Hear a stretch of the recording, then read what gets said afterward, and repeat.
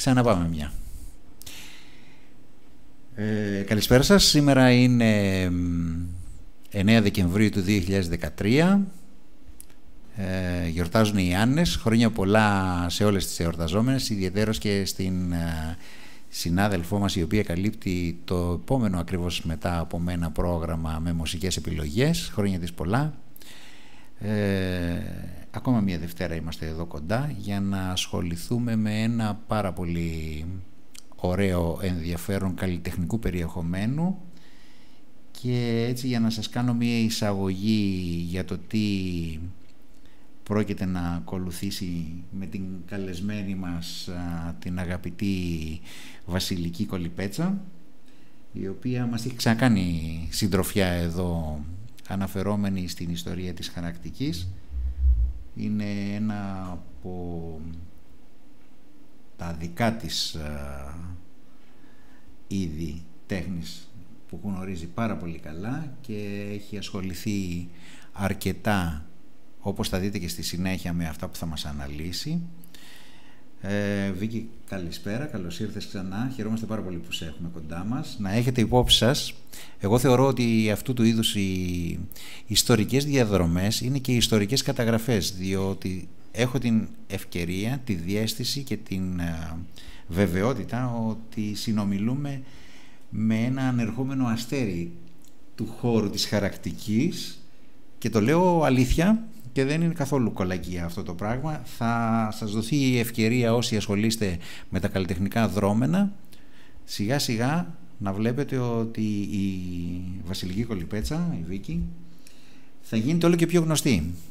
Σε παγκόσμια κλίμακα μάλιστα. Να την προσέχετε.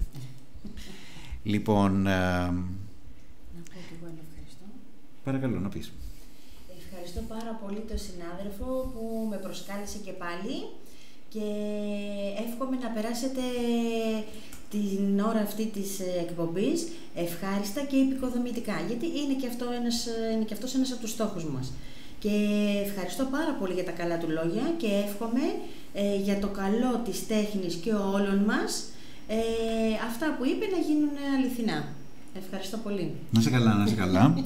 Εγώ για να προχωρήσω πιο βαθιά μέσα στο σημερινό αντικείμενο, αυτό το πράγμα το οποίο έλαβα υπόψη μου είναι η γνώση που έχω για την ίδια τη Βασιλική την Κολυπέτσα η οποία είναι ενταγμένη μέσα σε μια ομάδα εργασίας που συντονίζεται από μια σειρά ανθρώπων και μια σειρά φορέων ε, ούτως ώστε να κάνει κάτι πρότυπο, πρωτότυπο για τα ελληνικά χρονικά δεδομένα έχουν κάνει μια ομάδα η οποία κάνει κάτι εξαιρετικό που δεν έχει ξαναγίνει εδώ. Αποτελεί πανελλήνια πρωτοτυπία μια ε, ομάδα ανθρώπων οι οποίοι είναι γνώστες της χαρακτικής τέχνης έχουν μαζευτεί και έχουν αποφασίσει μαζί με τη βοήθεια άλλων φορέων, τους οποίους θα αναφέρουμε στη συνέχεια, να βγάλουν την τέχνη της χαρακτικής σε ανοιχτούς χώρους, στο κοινό, μακριά από τα εργαστήρια, τους κλειστούς χώρους και εκεί που δεν βλέπει κανείς με ποιο τρόπο ε, αρχίζει και γεννιέται ένα χαρακτικό σαν ιδέα, σαν προετοιμασία, σαν πράξη όλης αυτής της προετοιμασίας για να δούμε στο τέλος το τελικό του αποτέλεσμα επάνω στο χαρτί ή στην επιφάνεια το οποίο, την οποία έχει επιλεγεί να τυπωθεί αυτό το έργο και αναφέρομαι στην ομάδα CityLink ε, η οποία έχει την ε, πολύ καλή τύχη να έχει ως χορηγό τον όμιλο της Τράπεζας Πυραιός ε, με υπεύθυνη του πολιτιστικού τμήματος του ομίλου την κυρία Στάικου και την επιμελήτρια στην ίδια τράπεζα την Ήριδα Κρητικού από την μεριά του φορέα που βοηθούν αυτή την, ε, ε, ως χορηγών αυτήν την ε, εκδήλωση. Και από τη μεριά της Ανώτατης Σχολής Καλών Τεχνών υπεύθυνος είναι ο Άγγελος ο Αντωνόπουλος και συγκεκριμένα για το εργαστήριο της χαρακτικής από όπου αποδίδεται και αυτή η δραστηριότητα είναι η κυρία Βίκη Τσαλαματά, μια εξαιρετική ε, χαράκτρια, όχι μόνο ως χαράκτρια, αλλά όπως έχω μάθει, εξαιρετικής ποιότητας άνθρωπος, ένας από τους ανθρώπους που σπάνια συμβαίνει στις, ε, στην εποχή που ζούμε και στους χώρους μας, να δίνει άπλετα τη γνώση, τη βοήθεια προς τον οποιονδήποτε μπορεί να τη ζητήσει. Μπράβο της, μπράβο της, μπράβο της. Έτσι πρέπει να είμαστε όλοι οι συνάνθρωποι, έτσι πρέπει να αντιμετωπίζουμε πράγματα τα οποία μας κάνουν καλύτερους. Ε, θα ήθελα να σας πω ότι η αφορμή αυτής της εκπομπής έγινε η γνώση που είχα εγώ ότι προηγήθηκε μια ανοιχτή εκδήλωση μέσα στη Σπύρου Μίλιου στην κάθετο της Βουκουρεστίου, μέσα στο κέντρο της Αθήνας, πολύ κοντά στο Σύνταγμα, η οποία είχε ξεκινήσει στις 4 Νοεμβρίου του 2013 και κράτησε μέχρι τις 20 Νοεμβρίου του 2013. Ε, είχε σαν ε, ε, θέμα της να αναδείξει την, τον τίτλο «Χαράζοντας στην Αθήνα», δηλαδή να βγάλουν ως δρόμενο χαρακτικής εκδήλωσης έξω στο δρόμο, μέσα στη στο Ασπύρου Μίλιου, για να το δουν όλοι οι διερχόμενοι και όλοι οι περαστικοί ως καλεσμένοι να παρακολουθήσουν όλη αυτή τη διαδικασία σε ολοκλήρωση αυτής της ε, χαρακτικής ε, δουλειάς και έγινε και ένα λογοπαίγνιο εκεί πέρα χαράζοντας στην Αθήνα, χαράζοντας την Αθηνά.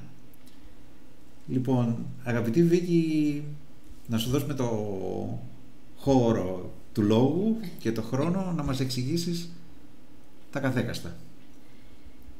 Ε, ευχαριστώ πάρα πολύ και θα ήθελα ε, να περάσω αυτό το μήνυμα σε, όσους μας ακούν, στις φίλες και στους φίλους, ε, γιατί έχει σημασία και έκανα αυτό το έργο γιατί θεώρησα ότι είναι πάρα πολύ επίκαιρο. Ε, ο το θέμα που μας έδωσαν, ας πούμε, ήταν «Χαράζοντας στην Αθήνα».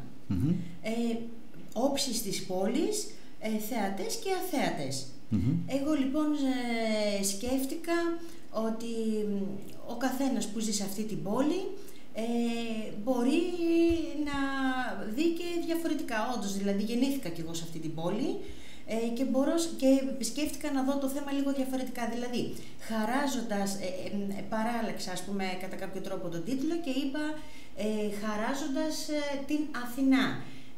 Και αυτό το έκανα για διάφορους λόγους, ένας από τους οποίους είναι ότι το όνομα καταρχήν Αθήνα έχει δοθεί κατά τη μυθολογία της διαμάχης του Ποσειδώνα με την Αθηνά.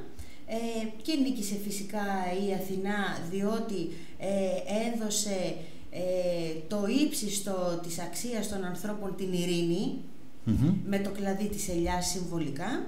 Έτσι λοιπόν πήρε το όνομα, της, το όνομα αυτή η πόλη από την Αθηνά.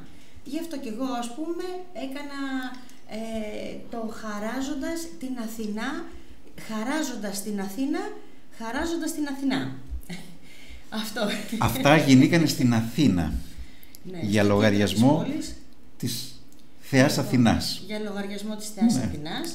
Επειδή όμως γίνονται όλα αυτά και για λογαριασμό όλων των Ελλήνων, εγώ θα κάνω μια παρένθεση εδώ, θα μου επιτρέψεις και θα πω ότι βλέπω ότι μια τέτοια εκδήλωση, η οποία είναι πάρα πολύ σημαντική, ως ε, καλλιτεχνικό δρόμενο το οποίο δείχνει να έχει μία πορεία ζωής ανοιγμένη μπροστά της ε, και θα έκανα μία προτροπή προς όλους τους ομίλους οι οποίοι μπορεί να έχουν αυτή τη στιγμή την ευχέρεια να διοργανώνουν έτσι τέτοια πολιτιστικά δρόμενα σημαντικά και να φέρουν τον κόσμο σε μια πολύ κρίσιμη καμπή της κοινωνίας μας και το πώς βάλετε η, ο ψυχισμός μας, η τέχνη σου δημιουργεί μια ανάτηση, ανάταση ψυχική.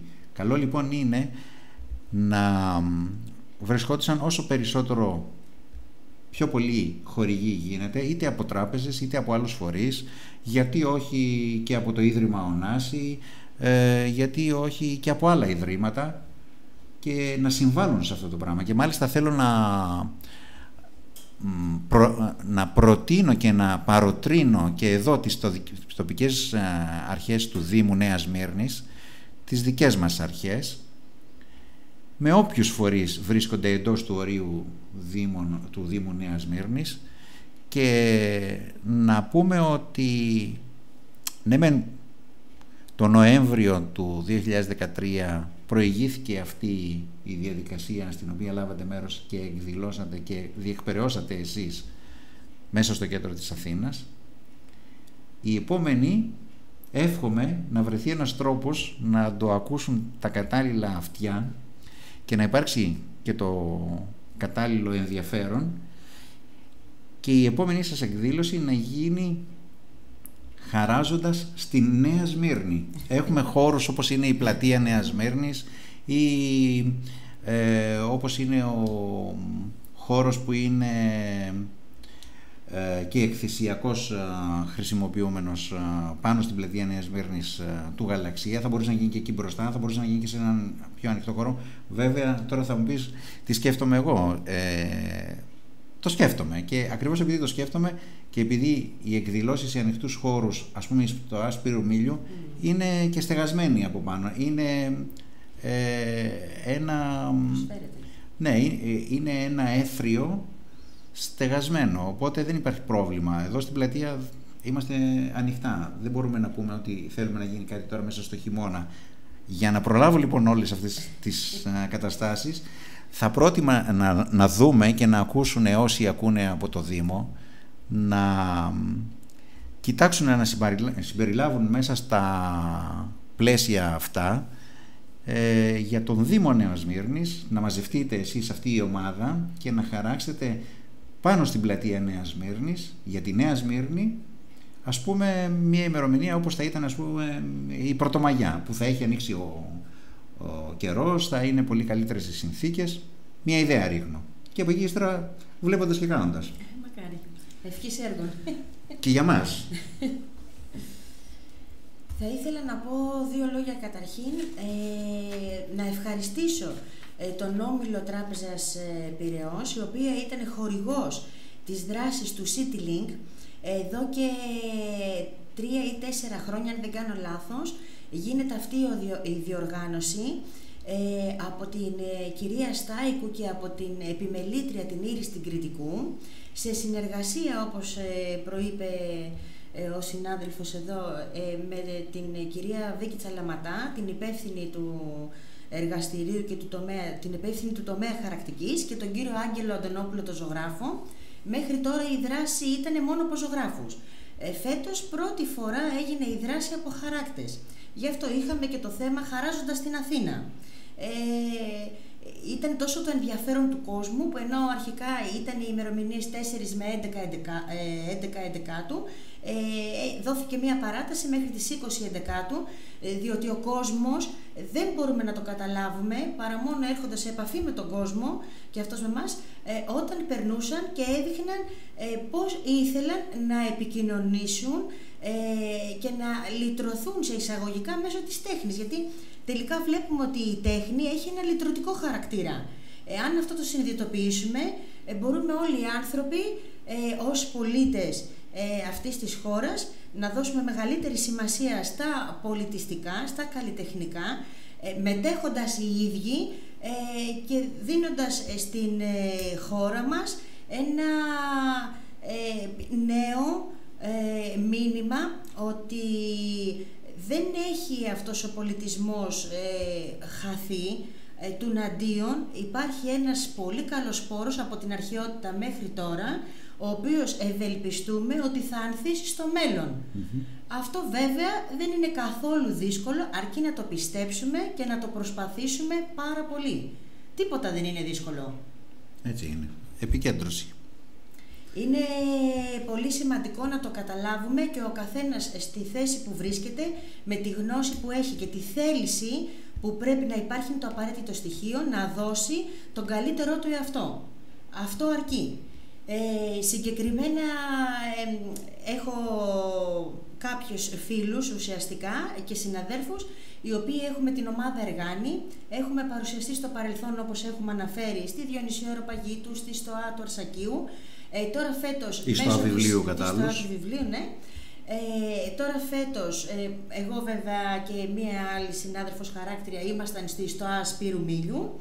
Ε, και τώρα, αν ε, γίνεται, μάλλον θα γίνει, ε, στην, στο Δήμο του Αγίου Δημητρίου, στις 22 την Κυριακή 12ου, 12 ώρα το μεσημέρι, θα κάνουμε μία δράση χαρακτικής και θα εξηγήσω γιατί το λέω δράση χαρακτικής και αυτό είναι το πρωτοποριακό. Ε, χαράζοντας ένα παραμύθι που έχει σχέση με τις γιορτές των Χριστουγέννων. Α, τι ωραία. λοιπόν, είναι βασικό γιατί ο κόσμος ενδιαφέρεται και θέλουμε να του δώσουμε αυτό που του αξίζει. Για πες μας τώρα με την ευκαιρία αυτή που θα γίνει ε, λίγο σε επανάληψη έτσι, θεωρώντας όλους όσους ακούν και ακούμε ε, ότι είναι μια πρόσκληση σαν ήδη να είμαστε καλεσμένοι εκεί να το βεβαίως, παρακολουθήσουμε. Βεβαίως. Λοιπόν, πότε θα γίνει αυτό; Είναι 22 ε, 12 ημέρα Κυριακή, 12 η ώρα, ε, στην Αγίου Δημητρίου, ε, στην, ε, σε μια πλατεία που είναι εκεί κεντρική και το οποίο γίνεται ένα μπαζάρ στην ουσία για τα Χριστούγεννα. Εμείς λοιπόν θα χαράξουμε ένα παραμύθι, το μήνυμα ουσιαστικά των Χριστουγέννων, ε, για να δει ο κόσμος και να αισθανθεί καλύτερα τις γιορτές αυτές που ουσιαστικά είναι το μήνυμα της αγαπης το μήνυμα της αλληλεγγυης το μήνυμα, το, το μήνυμα του, ε, του ανθρώπινου ιδανικού να φτάσει και να χαρεί ε, την, κάθε ημέρα, την κάθε ημέρα και προπάντων τις ημέρες αυτές που υπάρχουν άνθρωποι που υποφέρουν. Ε, δηλαδή υποφέρουν και στο ρεαλιστικό, στο καθημερινό επίπεδο. Ναι, ναι, ναι, ναι, ναι. βέβαια. Αυτό είναι το μήνυμά μας. Ε, είμαστε η ομάδα Εργάνη η οποία ε, αποτελείται από τέσσερα βασικά άτομα ε, και στην οποία έρχονται, πολλοί, έρχονται κάποιοι χαράκτες ε, μαζί μας, κάποιοι μουσικοί άλλες φορές.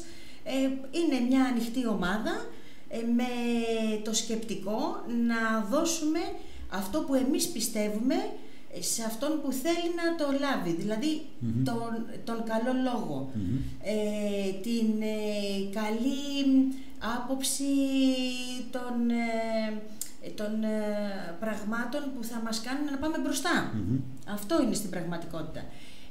την αποτελούν οι Πόποι Σκούμπαφλου, είναι η Εμιλία Ισταματοπούλου, εγώ και η Αλεξάνδρα Εγκίνη, νέα χαράκτρια και ζωγράφος.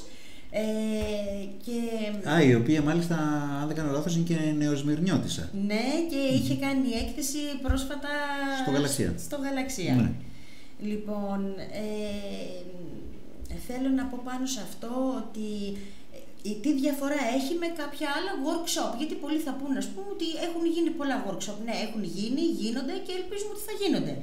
Αυτό όμως είναι κάτι σαν θεατρικό Η διαφορά του είναι ότι εμείς το κάνουμε διαδραστικό για να επικοινωνήσουμε με τον κόσμο. Θέλουμε ο κόσμος να συμμετεχει να καταλάβει το πώς γίνεται ένα χαρακτικό και να το καταλάβει με έναν τρόπο διαδραστικό, λαβαίνοντας μέρος και εκείνος, παρουσιάζοντας το κάθε φορά ε, με ένα θέμα ε, το, οποίο έχει, ε, το, οποίο, το, οποίο θέμα προσαρμόζεται ε, αναλόγως ε, με το τι θέλουμε να πούμε και να περάσει, το, δηλαδή το ανάλογο μήνυμα που θέλουμε να περάσει στους θεατές μας, στο κοινό. Ναι, ναι, ναι, και κατά πόσο μπορεί ας πούμε το κοινό αυτό να συμμετέχει. Να ανταποκριθεί. Και με ποιο τρόπο ενδεχομένως μπορεί να συμμετέχει, δηλαδή ε, λαμβάνοντας μέρος στη διαδικασία της προετοιμασίας και της εκτύπωσης ή διαδραστικά ε, συμμετέχοντας με την άποψή του ή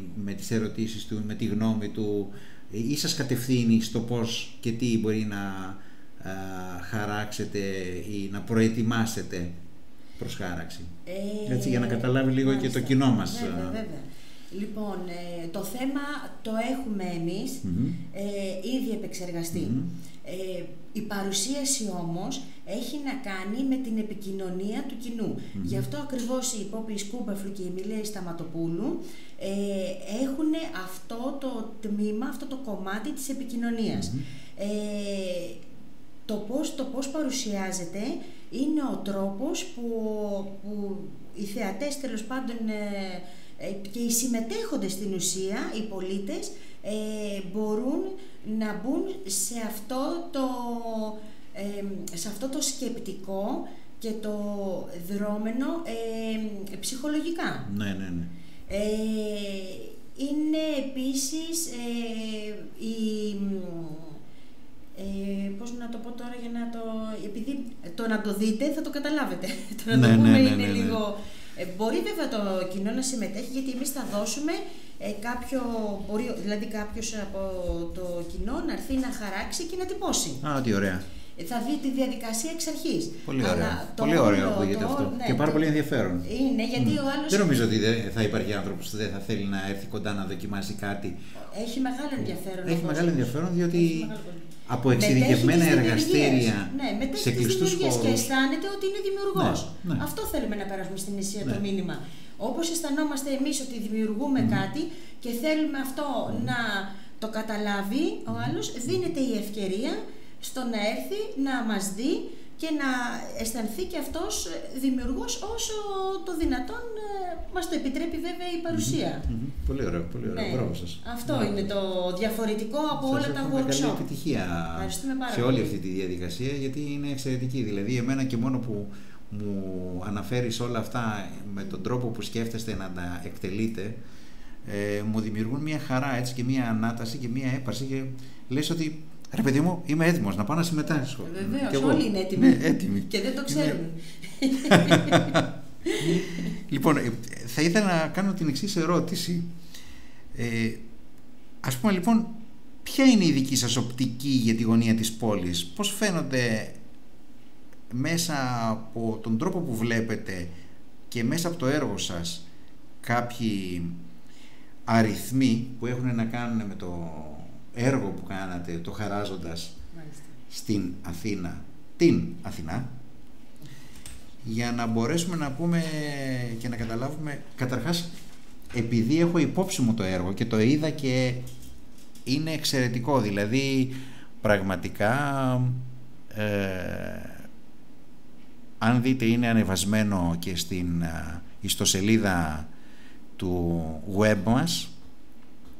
Αν το προσέξετε έχει πάρα πολλά στοιχεία. Έχει αριθμούς, έχει ε, νομίσματα με την ε, μορφή της ε, γνωστής γλάφκας των Αθηνών, της Κουκουβάγιας. έχει, όταν γνωρίζεις το έργο μπορείς να αναγνωρίσεις το σύνολο του έργου ένα ολόκληρο όρθιο άγαλμα της Αθηνάς, έχει την Ακρόπολη, έχει τους δρόμους της Αθήνας, αλλά έχει ένα άλλο εκπληκτικό το οποίο αυτό με πρώτη ματιά βλέποντας το έργο ένας που δεν το ξέρει είναι ανυποψίαστος για το πώς έχει γίνει αυτό το πράγμα. Θέλουμε να μας πεις λίγο τα τεχνικά χαρακτηριστικά αυτού του έργου το οποίο αποτελείται όχι από μία εκτύπωση και μία πλάκα αλλά από πολλές πλάκες και πολλές εκτυπώσεις οι οποίες έχουν δώσει ειλικρινά πιστέψτε με ένα εξαιρετικό αποτέλεσμα πεδίο βάθους και εναλλαγών από τη μία εκτύπωση στην άλλη και το πώς ζωντανεύουν μέσα σε ένα βάθος προοπτικής όλα αυτά που συνθέτουν μία εικόνα η οποία εκ πρώτης όψεως φαίνεται πολύ απλή αλλά ως σύνθεση είναι πραγματικά ένα αριστούργημα σύνθεσης. Για εξήγησέ μας τα αυτά, Βίκη. Ναι. Ε, βέβαια δεν έχω μαζί, δυστυχώς ξέχασα να φέρω κάποια μήτρα. Ναι. Ε, που έχω χαράξει για να δει και ε, να δουν δηλαδή και οι ακροατές εδώ ε, πώς, πώς έχει ένα κομμάτι δηλαδή από αυτή τη χάραξη. μπορώ να σας το περιγράψω, ελπίζω ναι. να το πω σωστά. Ναι. Λοιπόν, καταρχήν χάραξα... Πες μας τις διαστάσεις του έργου. Ναι, λοιπόν, οι διαστάσεις του έργου είναι μεγάλες για χαρακτικο μονοκόμματο χαρακτικό, δηλαδή ε, είναι ένα χαρτί δύο μέτρα επί ένα μέτρο, ε, το οποίο μου το έδωσε η συνάδελφος η Δήμητρα Ιγούναρη, να την ευχαριστήσω, διότι το φέρνει από την Ιαπωνία. Ε, είναι χαρτί ξυλογραφίας, πάρα πολύ λεπτό, ε, με το οποίο μας δίνεται η δυνατότητα να τυπώνουμε στο χέρι.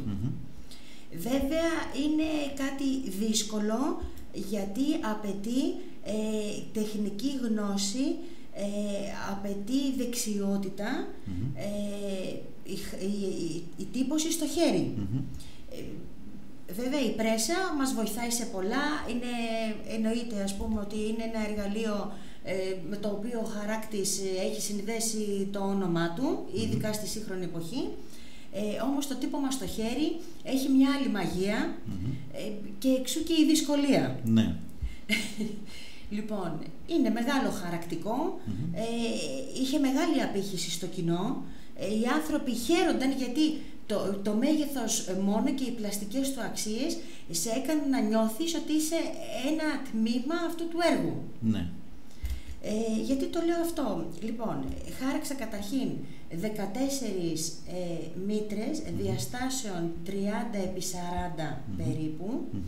Ε, χάραξα άλλες ε, δύο ε, λίγο μεγαλύτερων διαστάσεων ε, οι οποίες ήταν αυτό έγινε με το σκεπτικό ότι κομμάτια κομμάτι, κομμάτι κομμάτι χτίστηκε αυτή η πόλη. Κάποτε ναι, ναι. Ήταν... Πάρα πολύ ωραία, πάρα πολύ ωραία η σκέψη σου. ναι, Κάποτε ναι. ήταν μια μικρή πόλη, κομμάτι-κομμάτι χτίστηκε. Κομμάτι-κομμάτι χτίζουμε τις ιδέες μας, κομμάτι-κομμάτι αναπτύσσουμε ε, το, το σκεπτικό μας και κάνουμε τη δράση μας. Λοιπόν, έτσι κομμάτι-κομμάτι έκανα πρώτα τη Θεά Αθηνά ε, σκεπτομενη Ε, αυτό δεν ήταν τυχαίο. Ε, διότι η πόλη μας ε, βρίσκεται, βάλετε ουσιαστικά ε, και βρίσκεται υποσκέψη μέσω των πολιτών. Ναι. Διότι την πόλη την αποτελούν οι πολίτες και οι άνθρωποι, οι πολίτες τώρα είμαστε σε μια σκέψη, είμαστε σε μια περισυλλογή για το τι θα γίνει, τι έχει γίνει και τα λοιπά. Και, να μου επιτρέψεις να κάνω δε την εξής σύνδεση με τα λεγόμενά σου για να μεγενθύνουμε τις διαστάσεις επειδή το έργο σου αφορά την Αθήνα αλλά εστιάζεται στην Αθηνά η οποία χαρίζει το όνομά της σε, αυτό το, ε, σε αυτή την πόλη που είναι μία περίοδο που είναι η πόλης κράτη. Άρα δηλαδή μιλάμε σαν ένα κράτος. Με αυτή την έννοια λοιπόν όλοι μας θα πρέπει να φανταστούμε ότι όλα αυτά τα αναφερόμενα που λες σε σχέση με την ε, σκέψη των πολιτών εντός των ορίων της πόλης τους ως κράτος, διότι τότε τις βιώνανε ως πόλης κράτος, ότι αφορά όλους τους Έλληνες, δεν αφορά μόνο την Αθήνα, αφορά την ελληνική κοινότητα στο σύνολό της και σαν ελληνική πραγματικότητα επικράτειας, αλλά και σαν πολυδιάστατη ε, εξάπλωση του ελληνικού στοιχείου σε ολόκληρη την Ιφίλιο. Δηλαδή βλέπουμε ότι παράλληλα αυτές τις δύσκολες στιγμές που περνάει η χώρα μας ξαναγίνονται σκέψεις από όλους τους πολίτες, από όλους τους Έλληνες και με την ευρύτερη έννοια και από όλους τους πολίτες διότι δεν είναι το, το φαινόμενο αυτό που ζούμε όλοι πλέον είναι ε, παγκόσμιο ναι. αλλά εμείς εστιάζουμε στα δικά μας. Και έτσι με αυτή την έννοια σκεφτείτε το ότι η Αθήνα λαμβάνει χώρα συμμετοχής ως εκπρόσωπος σε εισαγωγικά αλλά ουσιαστικά κρύβει μέσα εκεί και όλους τους άλλους νομούς κρύβει όλες τις άλλες πόλεις, όλα τα χωριά, όλες τις κομοπόλεις, όλη την Ήπεθρο, όλη τη χερσαία Ελλάδα, όλη την νησιωτική Ελλάδα, τα πάντα. Με αυτή την έννοια. Έτσι το αντιλαμβάνομαι εγώ γνωρίζοντας ποιο είναι το έργο και ποιος είναι, ποια είναι η στόχευση που κάνεις θέλοντας να αποκτήσει το έργο που έχεις κάνει αυτή την σχέση συμμετοχής με τον πολίτη. Ακριβώς. Έτσι ακριβώς είναι.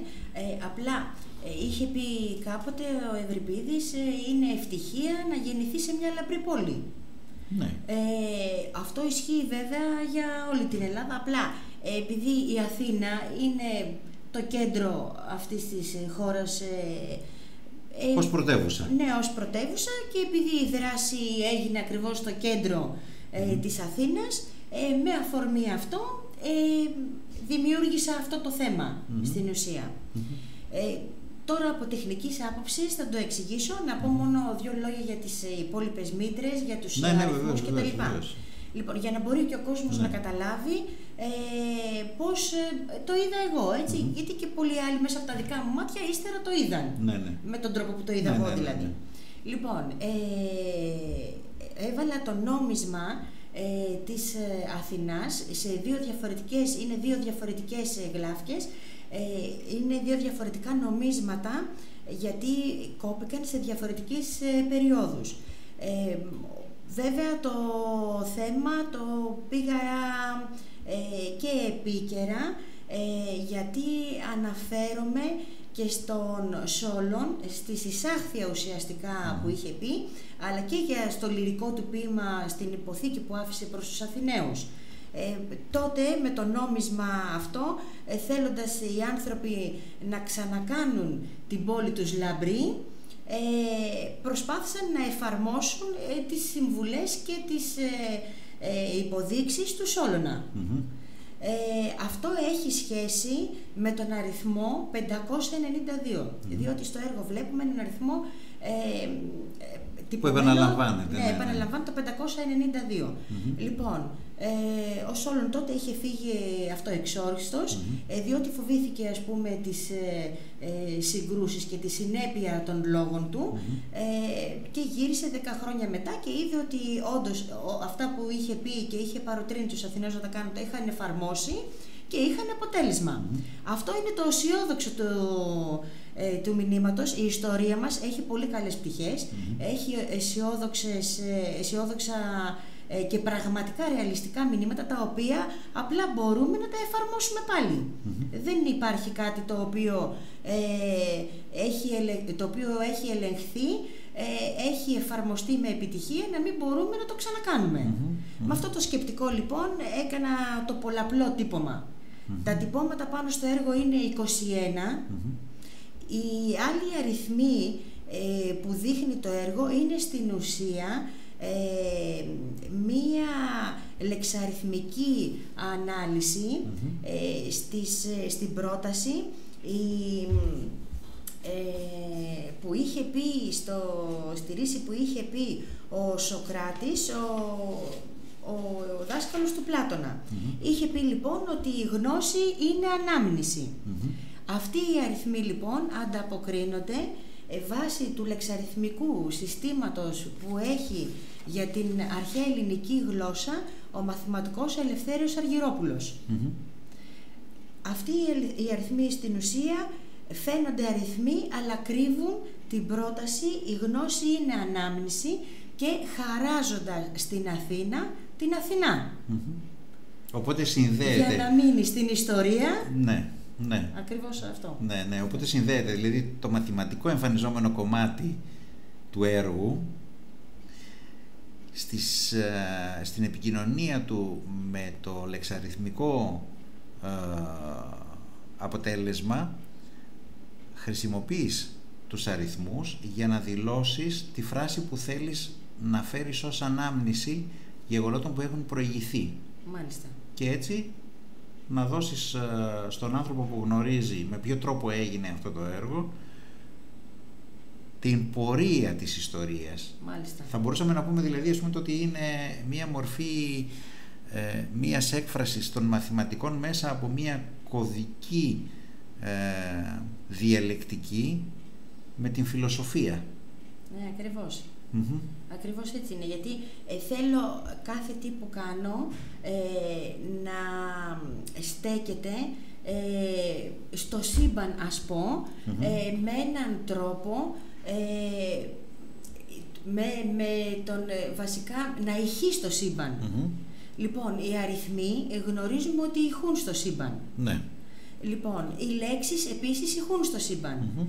Η, επειδή ακριβώς η ελληνική γλώσσα είναι μια γλώσσα συμπαντική, χρησιμοποίησα ε, την ιστορία μας, την, από την αρχαιότητα μέχρι τώρα, ε, με το σκεπτικό να ηχήσει στο μέλλον, μιας και ο ήχος ε, πηγαίνει στο σύμπαν και γυρίζει πάλι σε εμάς.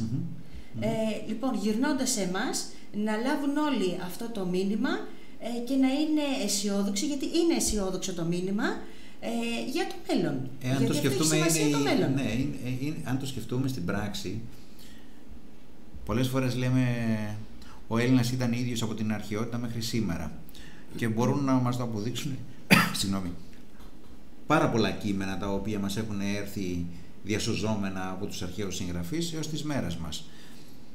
Και λες ότι είναι η αντίχηση του τι συνέβαινε τότε και το καθρέπτισμα αυτής της αντίχησης πώς είναι σαν ένα άλλο μέσο χαρακτικό του παρελθόντος αποτυπωμένο στο μέλλον του σήμερα. Ακριβώς.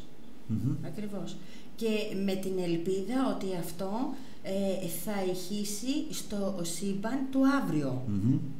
Ναι. Ε, οι αριθμοί ε, παίζουν το ρόλο του σαφες και είχε πει ο Ευρυπίδης σοφών το σαφες Πάντα οι αριθμοί μας λύνουν Έτσι λοιπόν με έναν τρόπο οικαστικό προσπάθησα να λυσω το σημερινό πρόβλημα οικαστικά σύμφωνα με τη δοκιμασία που εγώ μπήκα στη διαδικασία να την κάνω. Ναι, ναι, ναι.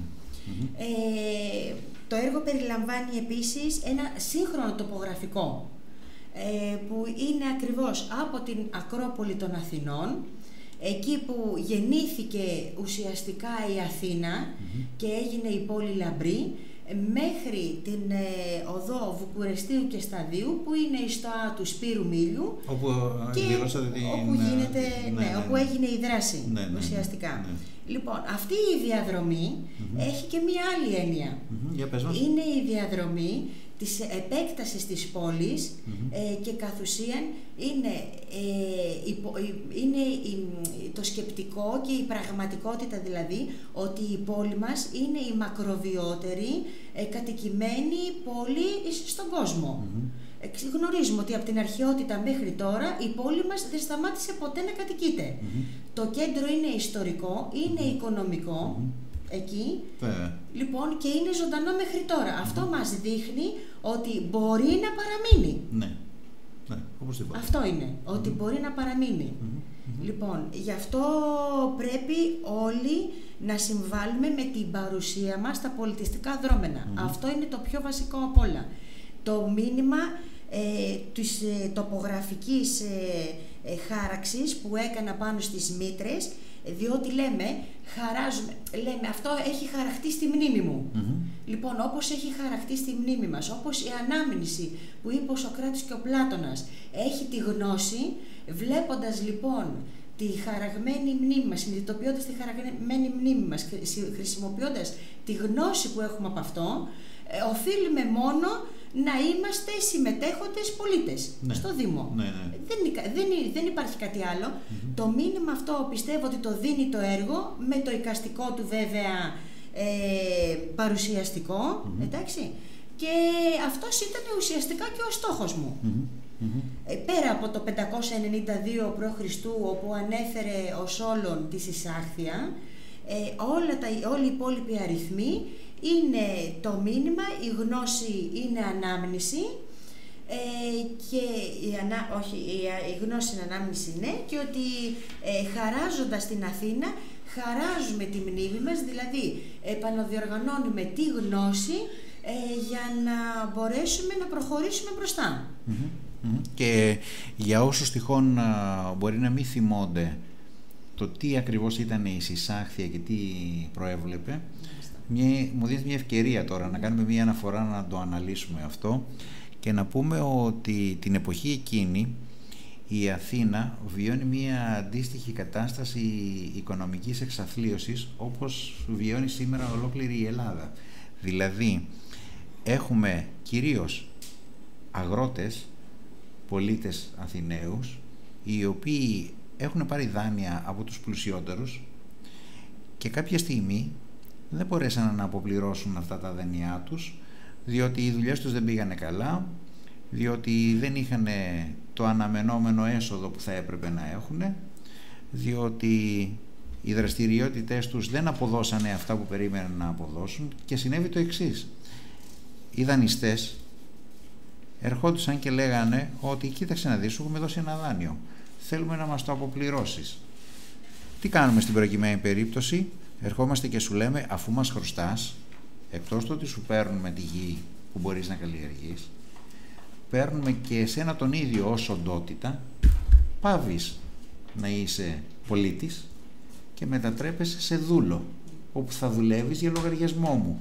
Λοιπόν, αυτό το πράγμα δημιούργησε μια τεράστια αναστάτωση στην κοινωνία την Αθηναϊκή και αρχίσανε αυτοί που είχαν μεγαλύτερα εισοδήματα, οι πλούσιοι δηλαδή, να, να καταπιέζουν τους φτωχότερους και έτσι να τους βάζουν να γίνονται δούλοι για λογαριασμό τους.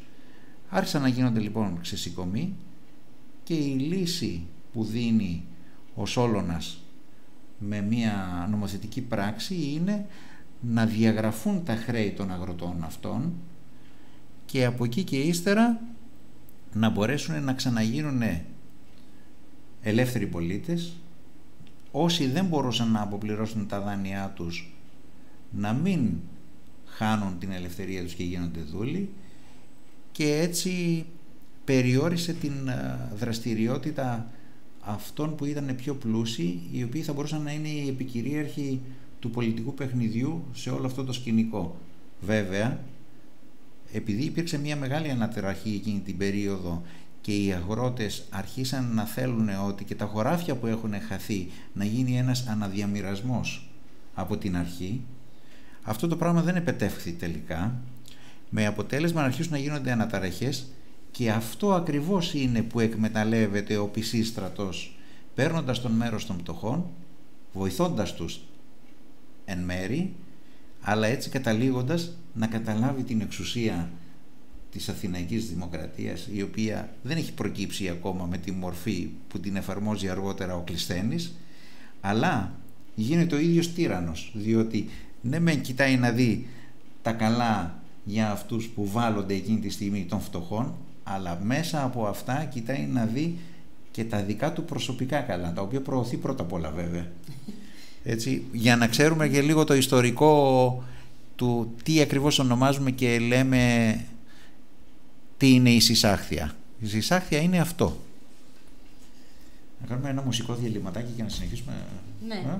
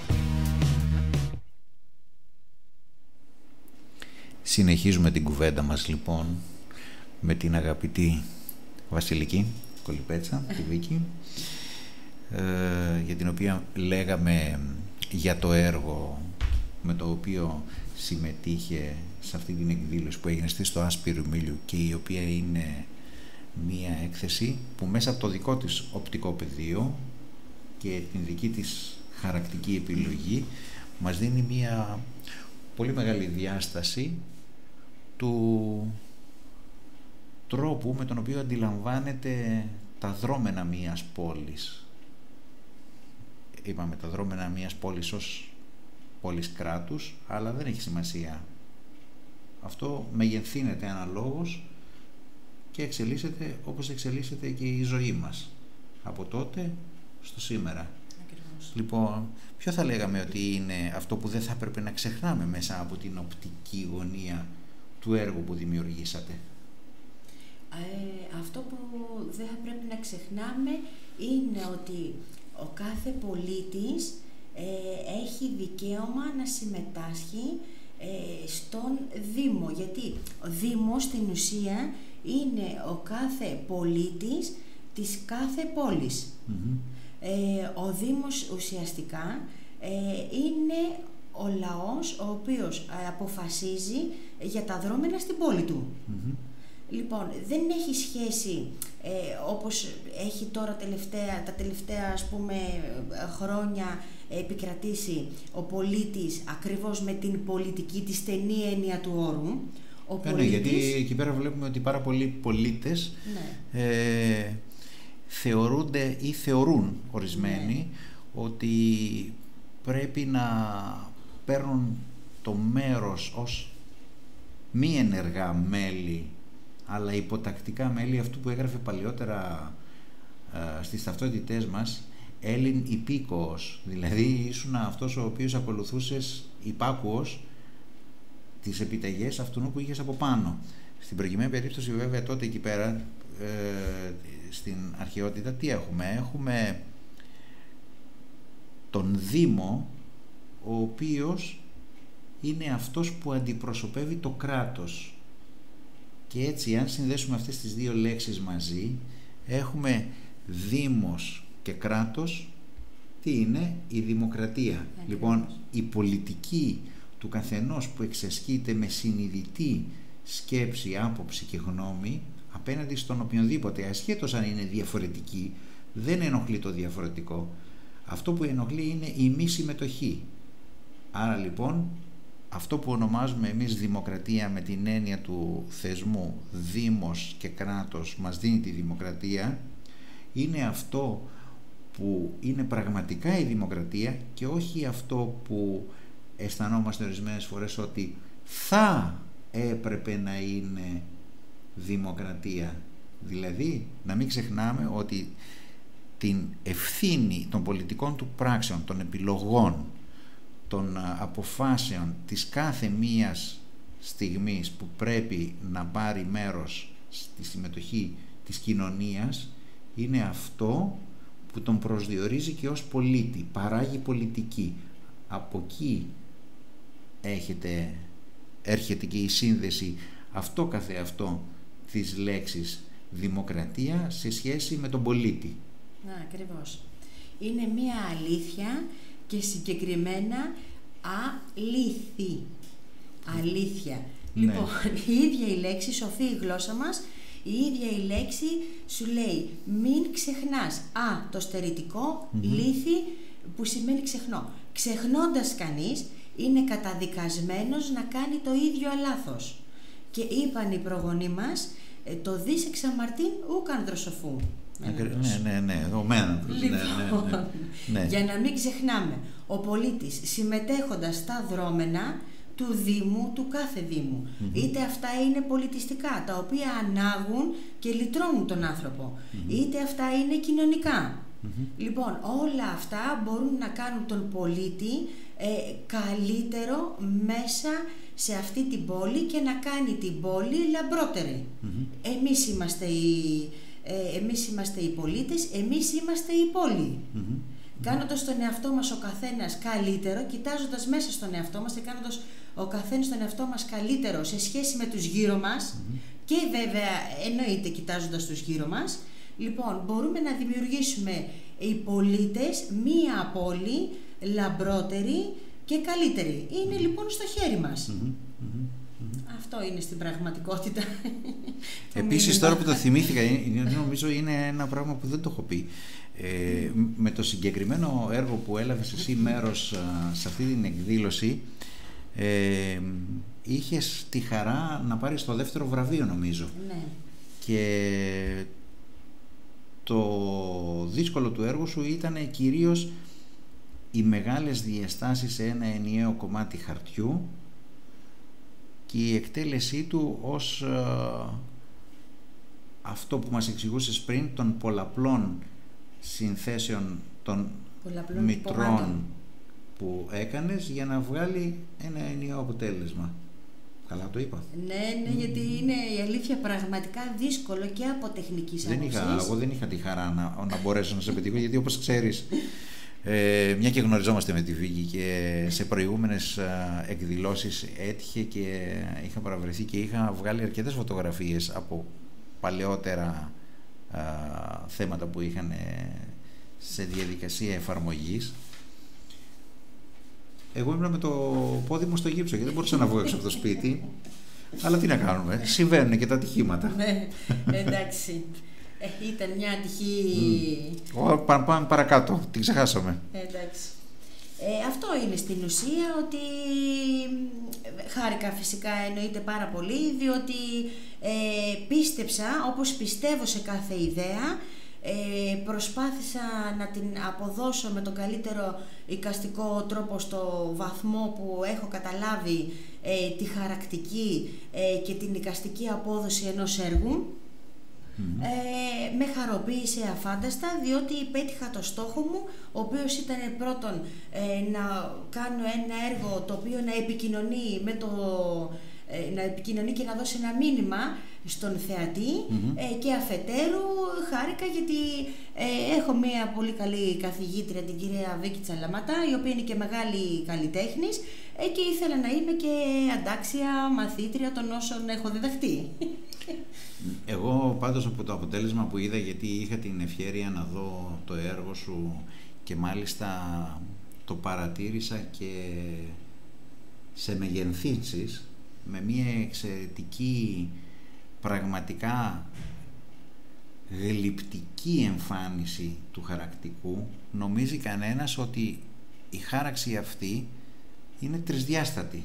Ναι. Δείχνει και δίνει ένα βάθος εξαιρετικό. Έτυχε να δω από πάρα πολύ κοντά πώς φαίνονται οι κουκουβάγες, τα, που, τα πούπουλά τους, το πώς έχεις την αίσθηση ότι το ένα βρίσκεται πιο χαμηλά ή πιο βαθιά από το άλλο ένα πράγμα το οποίο στην χαρακτική ιδιαίτερα όταν γίνεται σε ξύλο έχει μια πολύ ιδιαίτερη ε, εφαρμογή να μπορέσεις να το πετύχεις αυτό το πράγμα δεν είναι μια οξυγραφία ή μια χαλκογραφία η οποία σου δίνει με βάση την πρώτη επιφάνεια και το εγκαυστικό υλικό που θα ρίξεις από πάνω να σου βαθύνει τα νερά αυτά που θέλεις να φανούν ως σχέδιο είναι εντελώς διαφορετικό.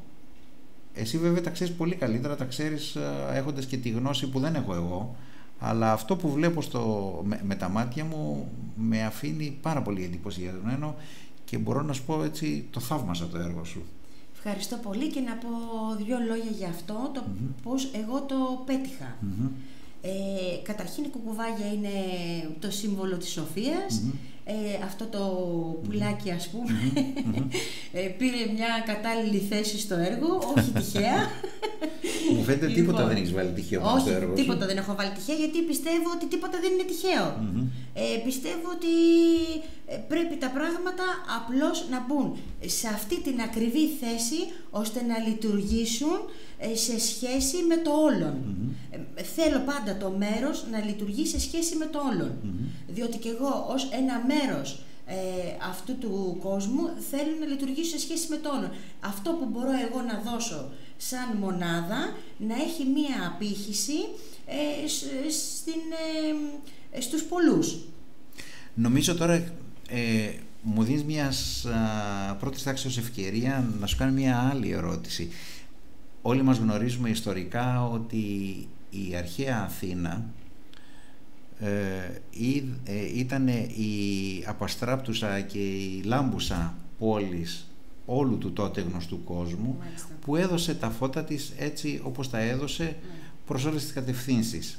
Εάν φύγουμε από την αρχαία εποχή και έρθουμε στην αντίχηση του σήμερα ναι.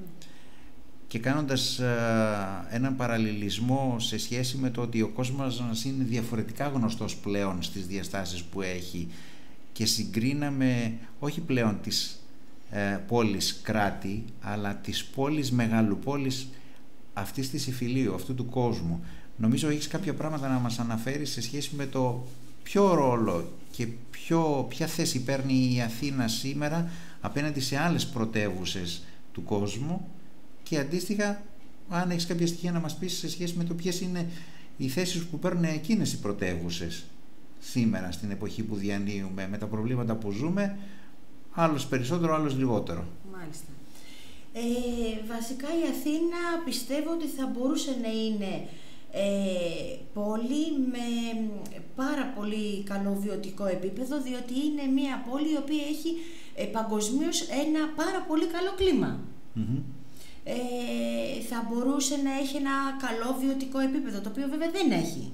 Ε, αυτό το έχει πετύχει η Μελβούρνη της αυστραλιας ε, διότι είναι η πρώτη ε, πρωτεύουσα, η πρώτη πόλη ε, με τόσο καλό βιωτικό επίπεδο. Εμείς δυστυχώς έχουμε την 67η θέση. Στις πόσες Στην παγκόσμια, ας πούμε, ναι, ναι, κοινότητα ναι, ναι. δεν έχουμε καλή ναι, θέση. Ενώ η Μελβούρνη ποια έχει; Έχει την πρώτη θέση. Α, Τέλεια. Λοιπόν, Πολύ καλά. Ε, αυτό βέβαια το μετράμε πλέον σε σχέση με το βιωτικό επίπεδο του πληθυσμού. Λοιπόν, ξέρεις τι μου θύμισες τώρα, επειδή συνέβη να έχει γίνει αυτό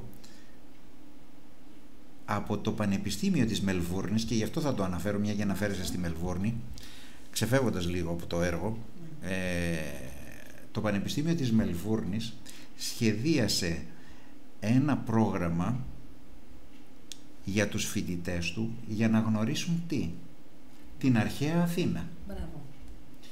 Και το κάναν με ένα τέτοιο εκπληκτικό τρόπο που μπαίνεις μέσα σε αυτό το περιβάλλον που έχουν φτιάξει το ηλεκτρονικό και αρχίζεις και περιηγείσαι την Αθήνα και την χτίζεις από περίοδο σε περίοδο όλων των θέσεων που πήρε μέσα στην πορεία της ιστορίας της για τον αρχαίο κόσμο.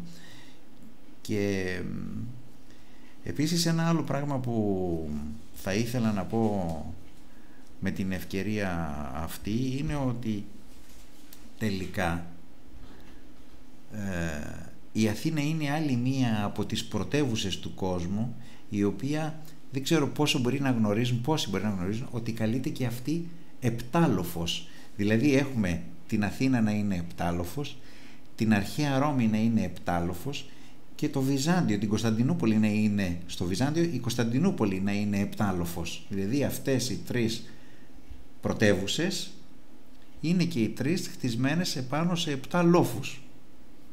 Κλείνει την παρένθεση.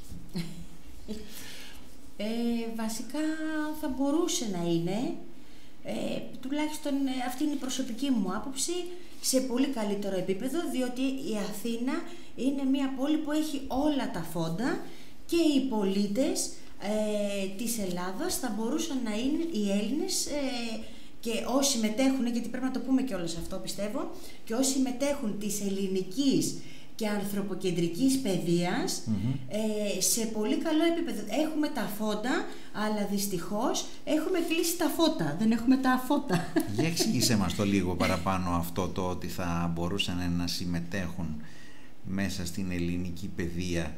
Ε, δηλαδή...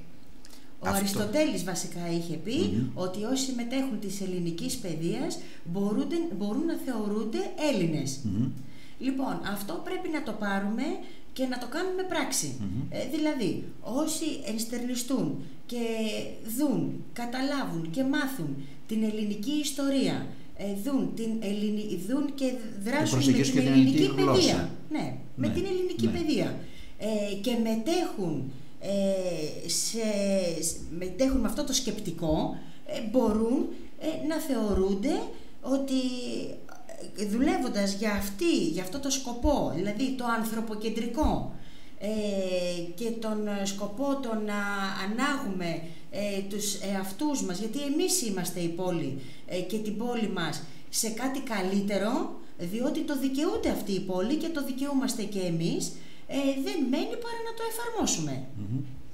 Ε, πιστεύω ότι ε, αυτό γίνεται εάν βοηθήσουμε όλοι για ένα καλύτερα ε, βιωτικό επίπεδο. Γιατί τώρα το βιωτικό επίπεδο δυστυχώς έχει πέσει και είναι βέβαια ένα μειονέκτημα ε, πολύ σοβαρό για να μπορούμε να πούμε ότι Είναι, η πόλη... η- η- αυτή η υπογράμμισή σου μου θυμίζει τον προηγούμενο λόγο σου, το ποια ήταν η πράξη που ακολούθησε ο Σόλωνας όταν διάλεξε να αυτοεξοριστεί για μία δεκαετία παρο- ε, ε, παρα- ε, προτρέποντας τους Αθηναίους να προετοιμαστούν για να κάνουν κάτι το καλύτερο μέσα από συγκεκριμένες οδηγίες που τους είχε δώσει που το πέτυχαν είναι, κιόλας. ναι, Αυτό. ενδιαφέρθηκαν να το πετύχουν. Ναι. Αυτό το πράγμα λοιπόν σημαίνει ότι σε ό,τι κακή κατάσταση και να είναι ένας τόπος, οποιοδήποτε Βέβαια, τόπος και βέβαια, να είναι, βέβαια.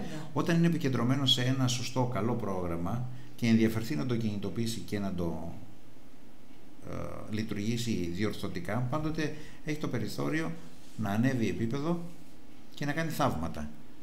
Ά- Άρα δηλαδή ας πούμε είναι κάτι αυτό σαν α, να λέγαμε ότι ουσιαστικά τι είναι, καλούμαστε να παρατηρήσουμε, να δούμε τι είναι αυτό το πράγμα το οποίο γινόταν καλός, τι κακός, τι έχουμε ξεχάσει από αυτά και να θυμηθούμε τι είναι αυτό που πρέπει να απαλείψουμε και τι είναι αυτό που πρέπει να φέρουμε στην επιφάνεια ενεργοποιώντας το ξανά για να μπορέσει να μας καλυτερεύσει τη ζωή. Και έτσι φτάνουμε σε αυτό που είπες πριν, ότι η χαρακτική μας βοηθάει να συμμετέχουμε στην καλυτέρευση της ποιότητας της ζωής μας. Όπως λέμε μένει στη μνήμη μου χαραγμένο. Α, πολύ ωραία, πολύ ωραία η, Είναι... η φράση που χρησιμοποίησες. Ακριβώς. Όπως χαράζουμε ένα υλικό για να αποδώσουμε αυτό που έχουμε στο νου μας, αυτό έχει ήδη προχαρακτεί μέσα στη σκέψη μας, μέσα στο είναι μας. Και έτσι μπορούμε και να το εκφράσουμε. Τι θα μας έλεγες κάτι παραπάνω γι' αυτό; Ε, όχι συγκεκριμένα ε, κάτι ε, καινούριο. Μμμ.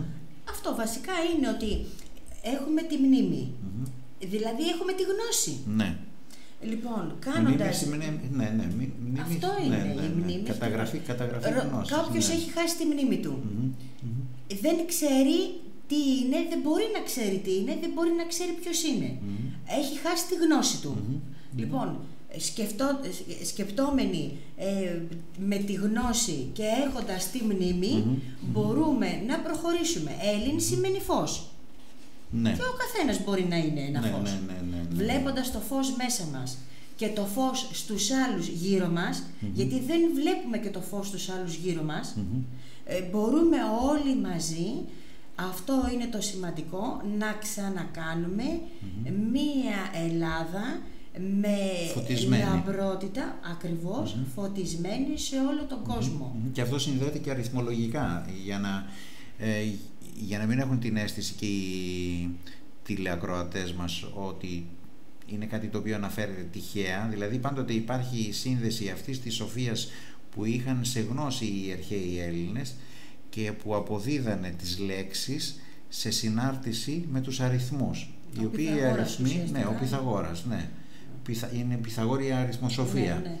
όπου βλέπουμε ότι εφαρμόζονται εκεί τα μαθηματικά, η φιλοσοφία, η μουσική, η οποία έχει αυτόν τον μαθηματικό λόγο στην α, μορφή της παρουσίασής της και με αυτόν τον τρόπο μπορούμε να πούμε ότι όλα αυτά δικαιολογούν το πώς διάλεγαν να ονομάσουν κάτι με μεγάλη σαφήνεια.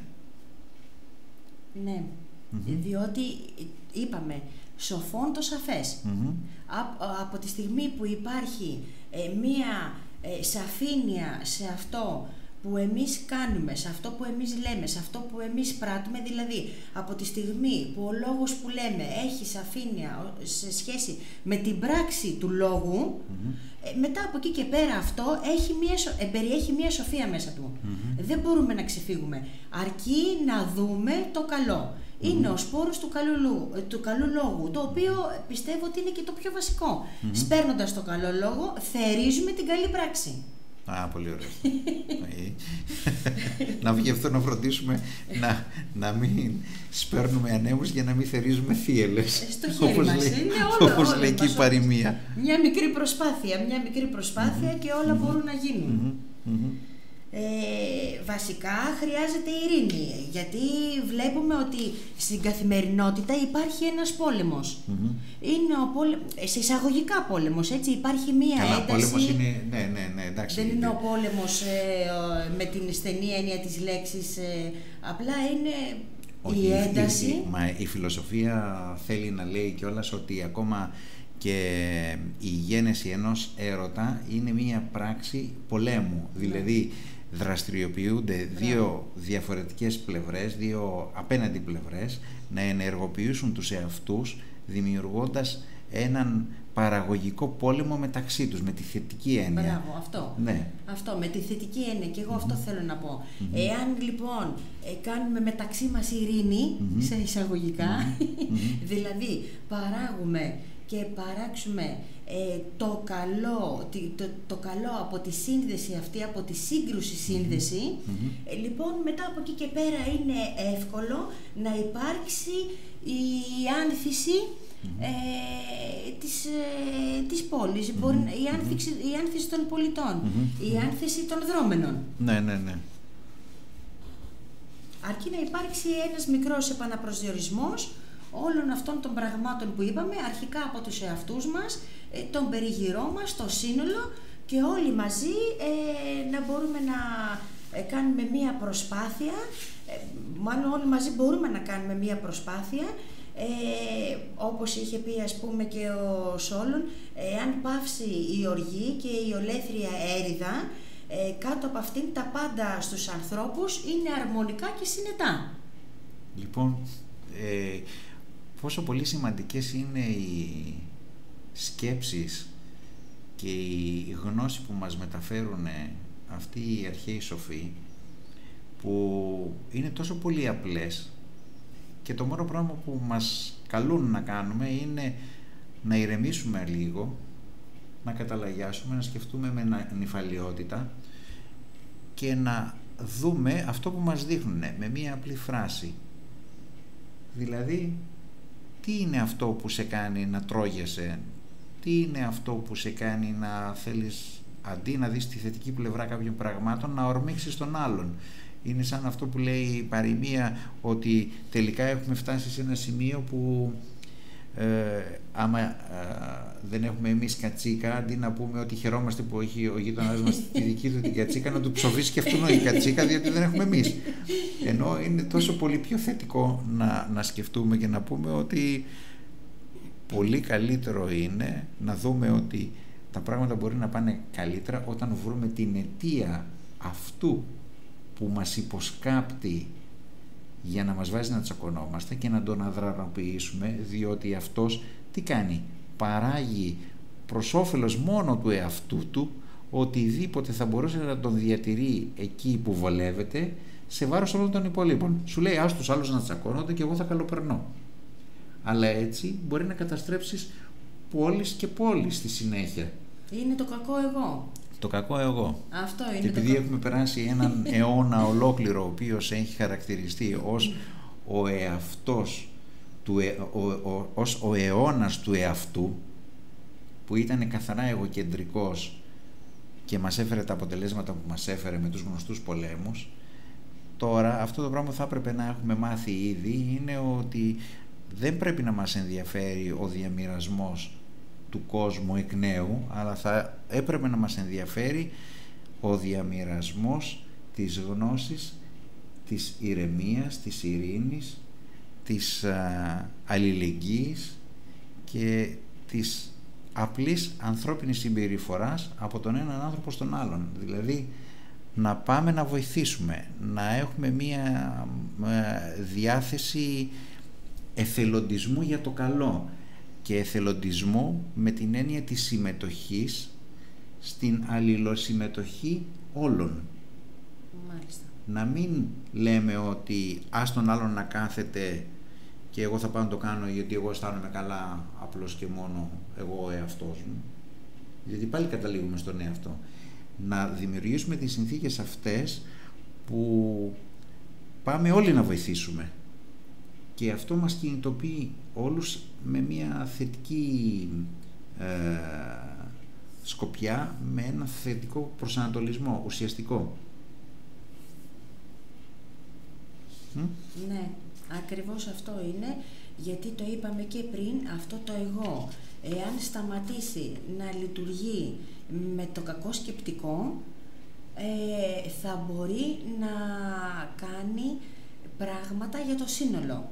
Όταν το εγώ σκεφτεί το σύνολο και δεν σκεφτεί το εγώ αυτό καθ' αυτό με τη στενή έννοια του όρου και, την, και στην ουσία είναι κακή η έννοια του όρου, ε, αυτό ακριβώς θα μπορέσει να αποτελέσει, ε, είναι στην ουσία ένα, ένας ε, επαναπροσδιορισμός ναι. αυτού του όρου. Λοιπόν, ε, θα ήθελα να αναφέρω μόνο ε, ότι η τέχνη, και, και το πιστεύω δηλαδή αυτό... Η τέχνη είναι ένα μέρος παιδείας. Πρέπει να αναφερθούμε στην παιδεία με την ευρύτερη διάστασή της, όχι επικεντρωμένη μόνο στην τέχνη, αλλά και στην τέχνη.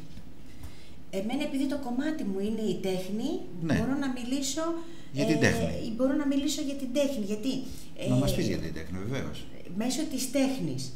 Πάλι θα αναφερθώ στο Σοκράτη και στη μεευτική μέθοδο τώρα. Να μας την πεις. Λοιπόν, διότι θυμήθηκα το εξής και το οποίο, εντάξει, εγώ ουσιαστικά το εφαρμόζω. Μμμ. Αλλά το θέμα δεν είναι να το εφαρμόσω μόνο εγώ. Μμμ. Λοιπόν, λοιπόν ε, είχε πει, ας πούμε, βάσει της μευτικής μεθό- ε, της, ε, μεθόδου, ε, μπορούμε να εκμεύσουμε κάτι από τον άλλον ε, για να μπορέσει να βγει και να παραχθεί μια ιδέα, μια πράξη κτλ. Ε, Λοιπόν, έτσι εγώ έχω σκεφτεί μέσω της τέχνης, Μμμ. Δηλαδή μέσω ενός πράγματος, ε, κάποιος άλλος μέσω ενός άλλου ανθρώπου, Μμμ. κάποιος άλλος μέσω ενός άλλου μέσου, Μμμ. ε, να μπορεί ε, να δώσει ε, στην πραγματικότητα την κινητήριο δύναμη ε, για να κινηθούμε όλοι. Ναι. Η, η τέχνη, πέρα ότι είναι λυτρωτική, Μμμ. είναι και ένα μέσο το οποίο μπορεί να φέρει τους ανθρώπους πιο κοντά. Οπωσδήποτε. Διότι Και- συμμετέχοντας όλοι, Μμμ, μμμ. συμμετέχοντας όλοι, αισθάνονται όλοι ένα κομμάτι από αυτό που αισθάνεται αυτός που το ξεκινά. Μμμ. Μμμ. Σταματώντας όμως μόνο εκεί, θα ήταν λάθος, γιατί αν ξεκινά από μένα και φτάνει μόνο σε μένα, λοιπόν είναι αυτό μόνο για μένα.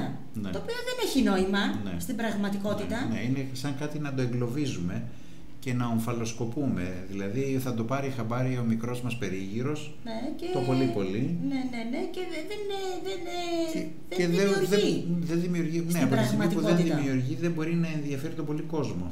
Δηλαδή το ενδιαφέρον μέσω της δημιουργίας είναι αυτό που ξυπνάει για, τον, για το σύνολο του, του πληθυσμού.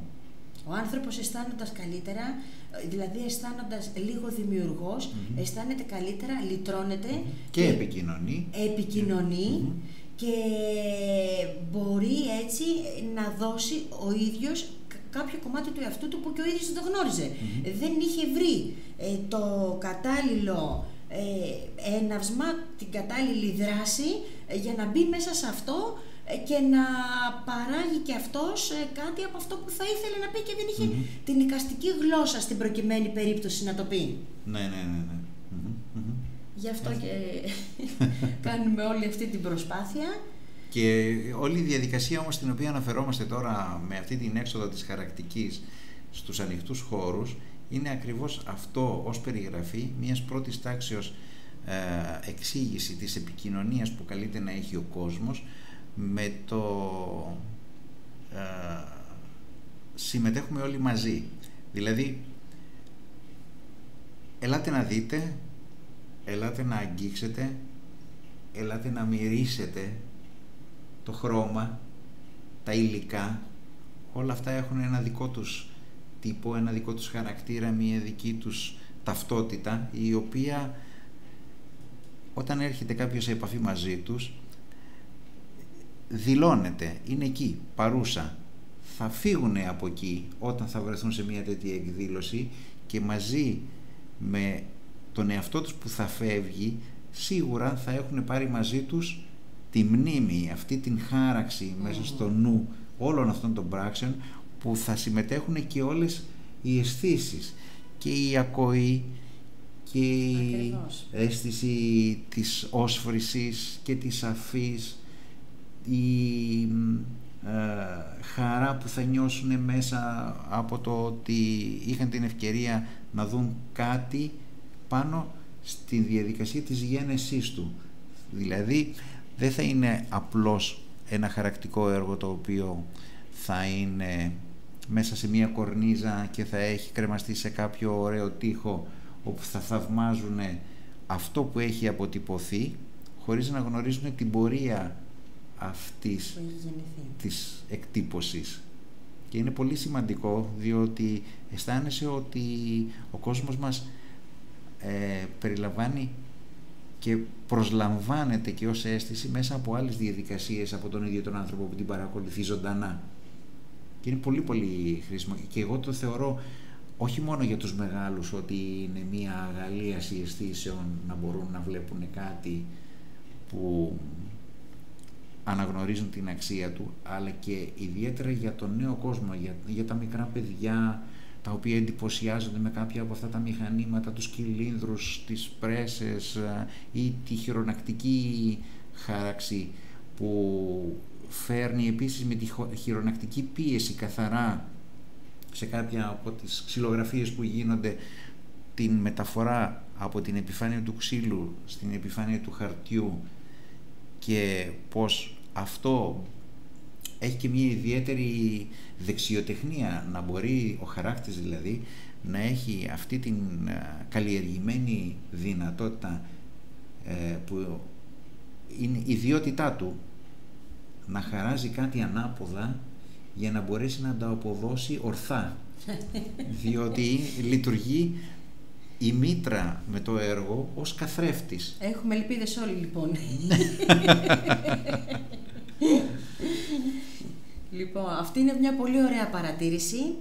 Ε, τώρα σκέφτηκα, σκέφτηκα το εξής, ότι ε, χαράζονταν ανάποδα, δηλαδή έστω και αν κάνουμε κάποια πράγματα ανάποδα, λοιπόν το ίδιο το υλικό, η ίδια η σκέψη, μια αντίστοιχη, αντίστροφη δύναμη μέσω του καθρέφτη, μας δίνει τελικά τη δυνατότητα ακόμα και το ανάποδο να το κάνουμε να το πω λαϊκά. Ναι, ναι, ναι, ναι. Λοιπόν, αυτό είναι πάρα πολύ ωραίο και εδώ μου έδωσε ο Δημήτρης μια ιδέα.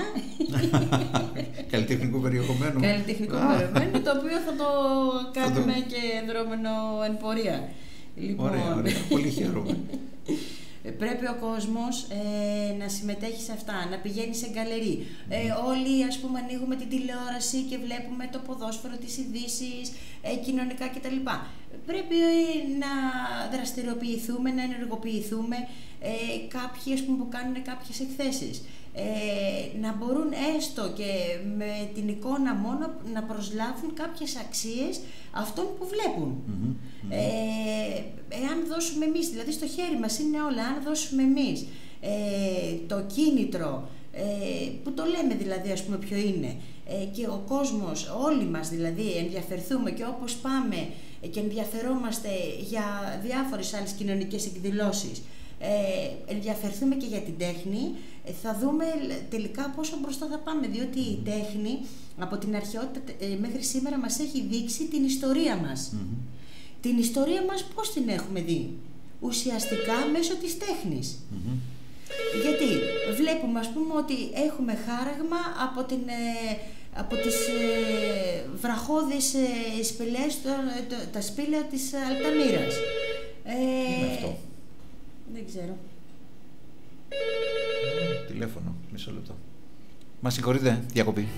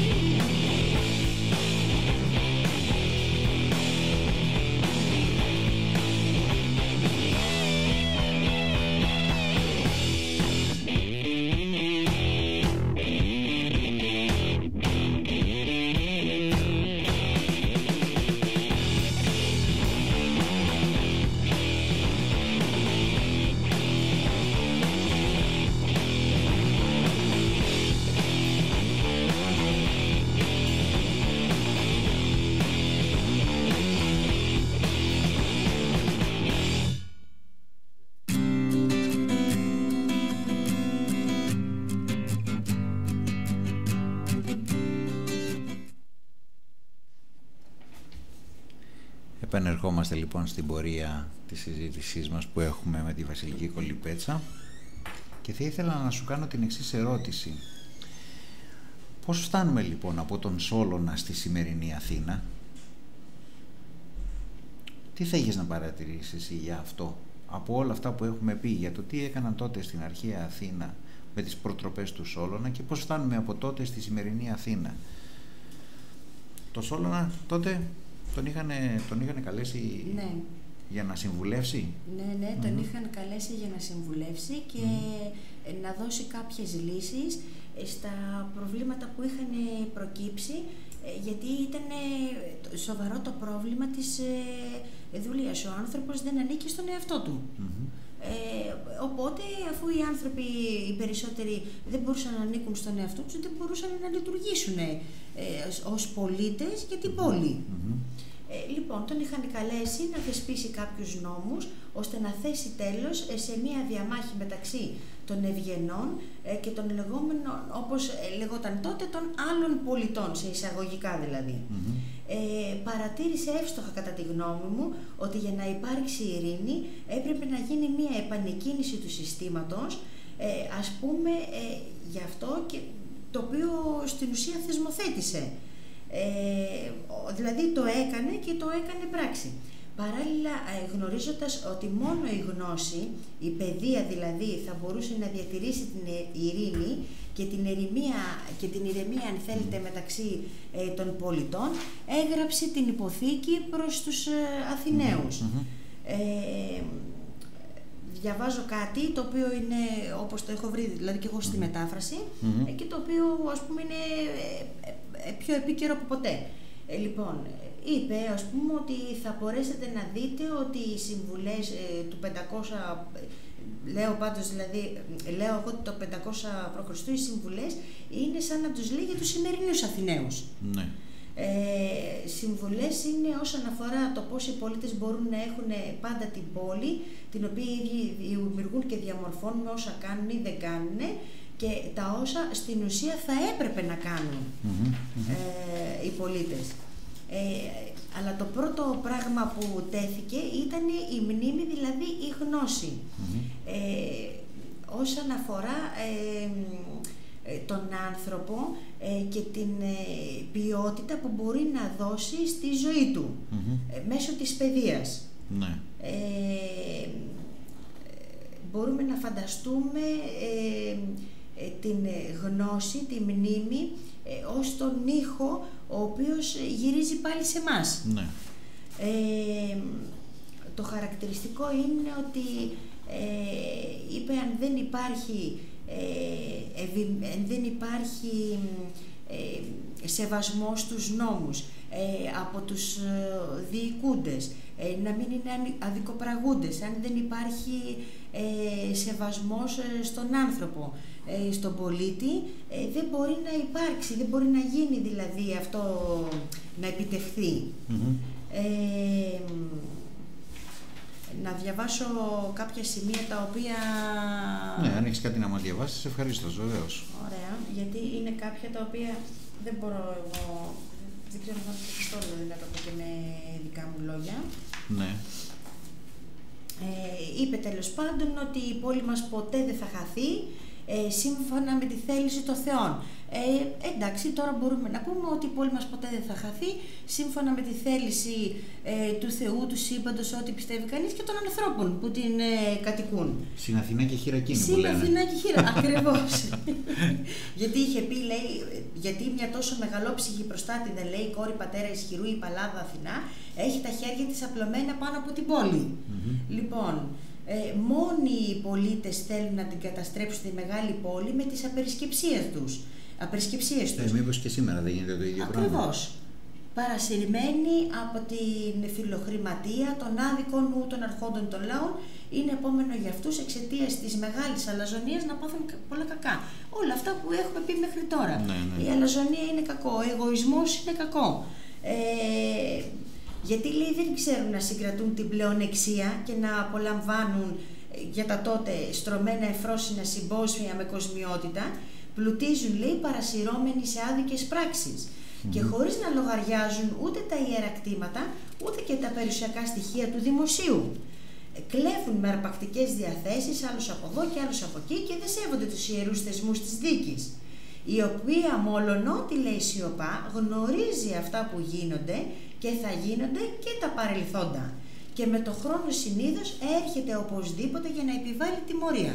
Για να μην φτάσουμε λοιπόν σε αυτό το σημείο, γιατί εν μέρει έχουμε φτάσει δηλαδή, ακόμα και η φύση συνηγορεί σε αυτό, διότι ούτε τη φύση σεβόμαστε ε, που ζούμε, ε, για να μην έρθει και φτάσει, όπως ο ίδιος είπε, αυτό φτάνει και όλος ως αναπόφευκτη συμφορά για την πόλη και κατά συνέπεια φυσικά για τους πολίτες, ε, καταλήγει συνήθως ε, πολύ γρήγορα σε, σε ατιμωτική δουλεία. Όπως είχε φτάσει τότε, ε, τώρα υπάρχει και οικονομική δουλεία.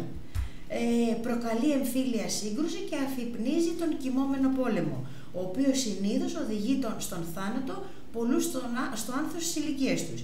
Γιατί εξαιτίας των εχθρών, πολύ γρήγορα η πολύ αγαπημένη πόλη κατατρίχεται από πολιτικές ενώσεις αγαπητές στους αδικοπραγούντες. Mm-hmm. Είναι όλες αυτές οι παγίδες τις οποίες πρέπει να αποφύγουμε όλοι. Mm-hmm. Ε, αυτές κυρίως οι και δεν πρέπει, και εγώ νομίζω ότι κυρίως αυτό το πράγμα που πρέπει να ξυπνήσει όλος ο κόσμος, μηδενός εξαιρουμένου μας, ναι.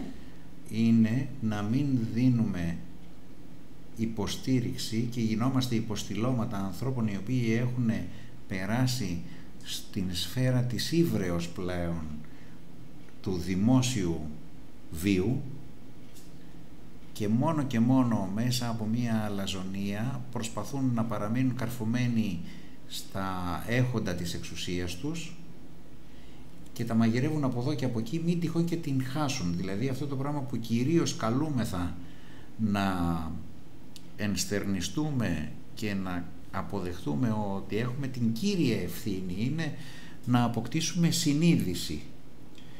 Και η συνείδησή μας να μην έχει να κάνει μόνο με εμάς αλλά να έχει να κάνει και με τα παιδιά μας και για τη ζωή των παιδιών μας και των παιδιών των παιδιών τους και των παιδιών των παιδιών των παιδιών τους. Διότι αυτή η ασυνειδησία που κυριαρχεί αυτή τη στιγμή είναι αυτή που κατά αντίστροφο τρόπο θέλει να έχει δούλους μέσα από τα οικονομικά δρόμενα που πέφτουν σαν κεραμίδες το ένα πάνω στο άλλο σε όλους μας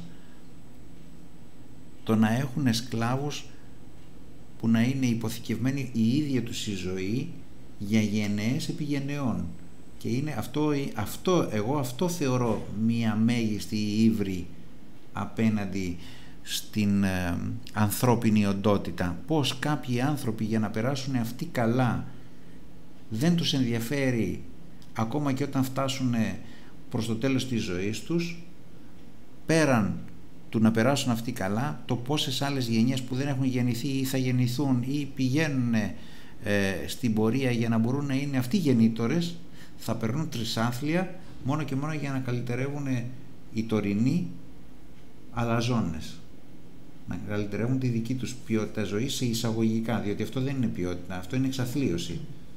Είναι εξαθλίωση να σκέφτεσαι τον εαυτό σου ε, μέσα, σε ένα σύλλογο, μέσα σε ένα σύνολο ανθρώπων οι οποίοι είναι αδικημένοι, είναι ε, σε δύσκολη είναι κοινωνικά κατατρεγμένοι, γιατί υπάρχουν πολλές ε, και αυτό Το, και ε, όταν συμβαίνουν αυτά τα πράγματα είναι από τη μία αυτά που σε αποσυντονίζουν και σε κρατούν μακριά από την κάθε μία διάθεση να νιώσεις κάπως καλύτερα και να στραφείς προς την τέχνη που σου δίνει αυτό το άθισμα της ψυχής και από την άλλη όμως είναι και η ίδια η απάντηση.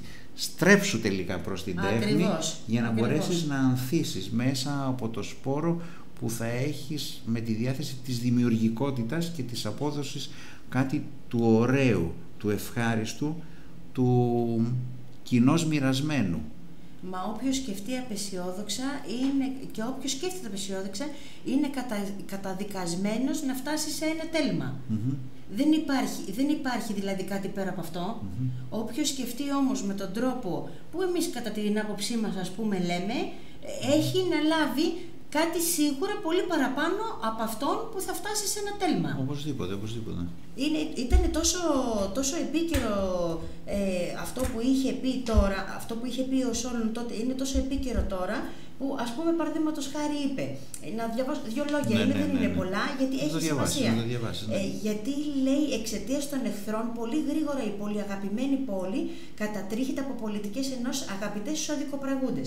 Αυτές οι συμφορές περιφέρονται στην πόλη και από τους φτωχούς, πολλοί φεύγουν σε ξένη χώρα, πουλημένοι και δεμένοι με εξευτελιστικά δεσμά και υπομένουν με καταναγκασμό τις μισητές συνέπειες της δουλείας, της οποιασδήποτε δουλείας. Εμείς εδώ δεν κάνουμε πολιτική, εμείς εδώ είμαστε πολίτες μιας χώρας και προσπαθούμε μέσα από την ιστορία μας να δούμε πώς θα κάνουμε το μέλλον μας και το μέλλον των επόμενων γενιών καλύτερο γιατί το αξίζουμε. Αυτό είναι, το, αυτό είναι το σκεπτικό μας και αυτό πρέπει να είναι το σκεπτικό όλων μας.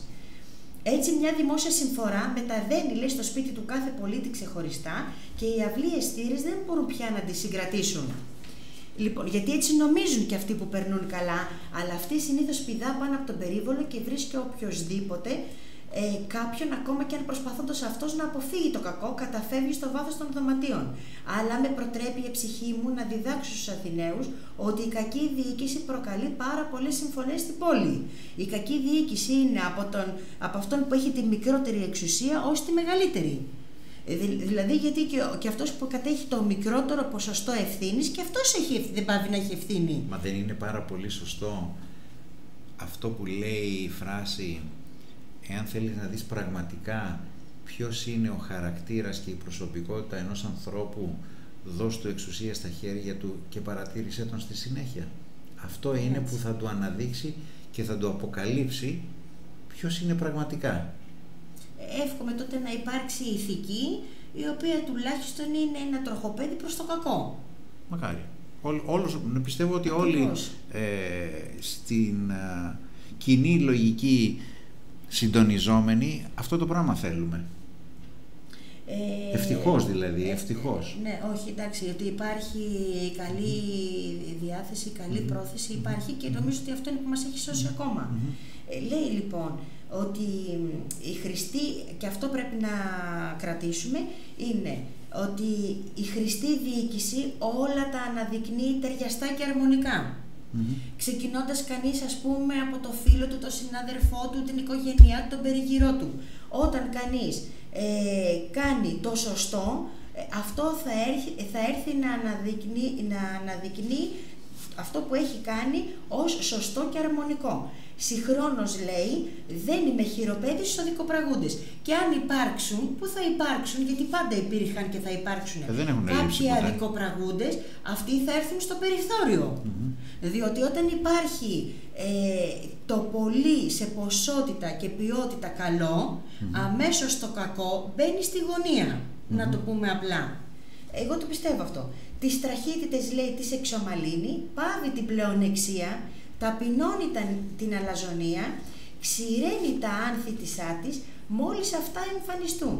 Επανορθώνει στρεψοδικίες και καταπραίνει πράξεις αλαζονίας και πάβει την εμφύλια έρηδα. Έτσι λοιπόν, κάνοντας, κάνοντας το καλό και υπερισχύοντας από τη μικρότερη ομάδα μέχρι τη μεγαλύτερη το καλό, θα σταματήσει να σκέφτεται το ένας ενάντια του άλλου. Μμμ. Διότι αυτό είναι και το αποτέλεσμα. Εγώ βέβαια επειδή πιστεύω ότι η τέχνη είναι ε, λυτρωτική, δημιουργώντας μέσα από αυτήν και κάνοντας δράση μέσα από αυτήν, Μμμ. ε, γι' αυτό ας πούμε καλό τον οποιοδήποτε ε, να συμμετάσχει στα κοινά μέσω της τέχνης, μέσω το, τον οποιοδήποτε τον ενδιαφέρει τον καθέναν το οτιδήποτε, ε, με γνώμονα μόνο το καλό. Μμμ. Έχοντας γνώμενο τον καλό, δηλαδή έχοντας ο άνθρωπος την καλή προαίρεση, ε, μπορεί να φέρει ε, τον καλό σπόρο και να φέρει τον καλό, ε, την καλή πράξη, το- τον καλό λόγο, τον, ε, το καλό υπάρχουν, δηλαδή αυτό που θα ζήσουμε μετά. Μμμ. Μμμ. Έτσι Αυτά είναι, είναι. έτσι Γιατί είναι. πιστεύω ότι όλοι μαζί μπορούμε. Όλοι μαζί μπορούμε. Αρκεί να το θέλουμε και μέσα από μια συντονισμένη προσπάθεια να φέρουμε ε, αυτή την πόλη. Εντάξει, θα φανεί βέβαια λίγο υπερβολικό, αλλά εγώ το πιστεύω ότι πρέπει να φέρουμε την πόλη στη μοναδική θέση που της αξίζει παγκοσμίως την πρώτη. Μμμ. όπως δώσαμε τα φώτα μας σε όλο τον πολιτισμό και κυρίως το δυτικό ε, μπορούμε να ξαναεπαναπροσδιορίσουμε. Όχι, όχι, όχι, μόνο κυρίως το δυτικό πολιτισμό. Ε, ο πολιτισμός αυτός ε, ταξίδεψε και με αυτήν την εξάπλωση του ελληνισμού ναι, που βέβαια, έκανε ναι, ο Μέγα Αλέξανδρος μέχρι την Ινδία, την ναι. Περσία, ε, τόσο, σε τόσο πολύ μεγάλες ε, αποστάσεις. Και με γνώμονα και γνώση αυτά που ξέρουμε μέχρι σήμερα, το ότι σαφώς και ο κόσμος δεν ήταν τουλάχιστον με την ευρύτερη έννοια γνωστός ως ο σημερινός. Αν θέλουμε να αφήσουμε και το περιθώριο, ναι. σήμερα ακόμα απλώς να μην έχουμε ε, βρεθεί μπροστά σε αποκαλύψεις τέτοιες που να μας αποδείχνει ότι αυτοί γνώριζαν τα πάντα που γνωρίζουμε και εμείς σήμερα ως προς τις διαστάσεις της γης. Δεν ξέρουμε αν το γνωρίζανε, ναι. διότι δεν έχουμε τις ε, αποδείξεις ότι μπορεί και να το γνώριζαν. Σε πολλές περιπτώσεις όμως έχουμε ενδείξεις, ναι. Διότι λέγεται ότι είχαν φτάσει και μέχρι την Αμερική και σε άλλα σημεία. Ναι. Ε, λοιπόν, μέχρι να έρθουν οι αποδείξεις, ε, ας κρατήσουμε τις ενδείξεις, διότι αυτές ε, έχουν αναπτύξει ε, μέσω της παιδείας και της ελληνικής ε, ε συμπαντικής γλώσσας πολιτισμούς από άκρη άκρη στη γη και έχει φτάσει η ιστορία του ανθρώπου πάνω στη γη να είναι πώς να το πω τώρα ας πούμε, ε, η ιστορία έχει, έχει φτάσει ο άνθρωπος δηλαδή σε τέτοιο υψηλό επίπεδο ε, που μπορεί ας πούμε να ζήσει πολύ καλά και πρέπει να το συνειδητοποιήσουμε γιατί εγώ πιστεύω ότι σε αυτή τη γη όλοι χωράμε τελικά. Όλοι χωράμε και εγώ κάνω και μια άλλη ευχή. Δηλαδή έχει, έχει προχωρήσει τόσο πολύ ο πολιτισμός μας και από την κακώς εννοούμενη χρήση, την κακώς εννοούμενη χρήση κάποιων πραγμάτων που βρίσκονται μέσα στις ε, τεχνολογικές επιτεύξεις ε, και τις ε, ανακαλύψεις ε, και τις εφευρέσεις να μην φτάσουμε να γίνουμε και εμείς ενδεχομένως μία άλλη χαμένη Ατλαντίδα προς αναζήτηση των μελλοντικών ανθρώπων που μπορεί να υπάρξουν πάνω σε αυτή την υφήλιο. Ε, ευχηθούμε να βρεθεί η προηγούμενη χαμένη Ατλαντίδα, ώστε να είναι διδακτική ναι, ναι. για την ιστορία μας. Ναι, και επειδή δεν ξέραμε και το τι περιείχε και το τι ήταν αυτό που την ε, κινούσε και ας έχουμε και κρατημένη Σωστό. μία πισινή. Σωστό. Μην πάμε να πέσουμε με τα μούτρα. Σωστό. Πάντως εγώ έτσι σιγά σιγά ε, περνώντας η ώρα και ερχόμενος στο σημείο εκείνο που θα κλείσουμε την εκπομπή και θα σας καληνυχτήσουμε λέγοντάς σας βεβαίως ότι πολύ πολύ σας ευχαριστούμε που ήσασταν κοντά μας όσοι ήσασταν κοντά μας και μας παρακολουθούσατε θα ήθελα να κλείσω με προτροπή πάλι προς τις αρχές και προς τους ενδεχόμενους διαθέσιμους χορηγούς αυτού του τόπου να έχουμε την ευκαιρία ή ακόμα και με τον ίδιο χορηγό, δεν μας πειράζει καθόλου. Ε, όχι, δεν είναι το... Ε, η επόμενη χάραξη να είναι όντως μια χαρακτική δραστηριότητα σε έναν ανοιχτό χώρο εντός του Δήμου Νέας Σμύρνης για τον Δήμο Νέας Σμύρνης.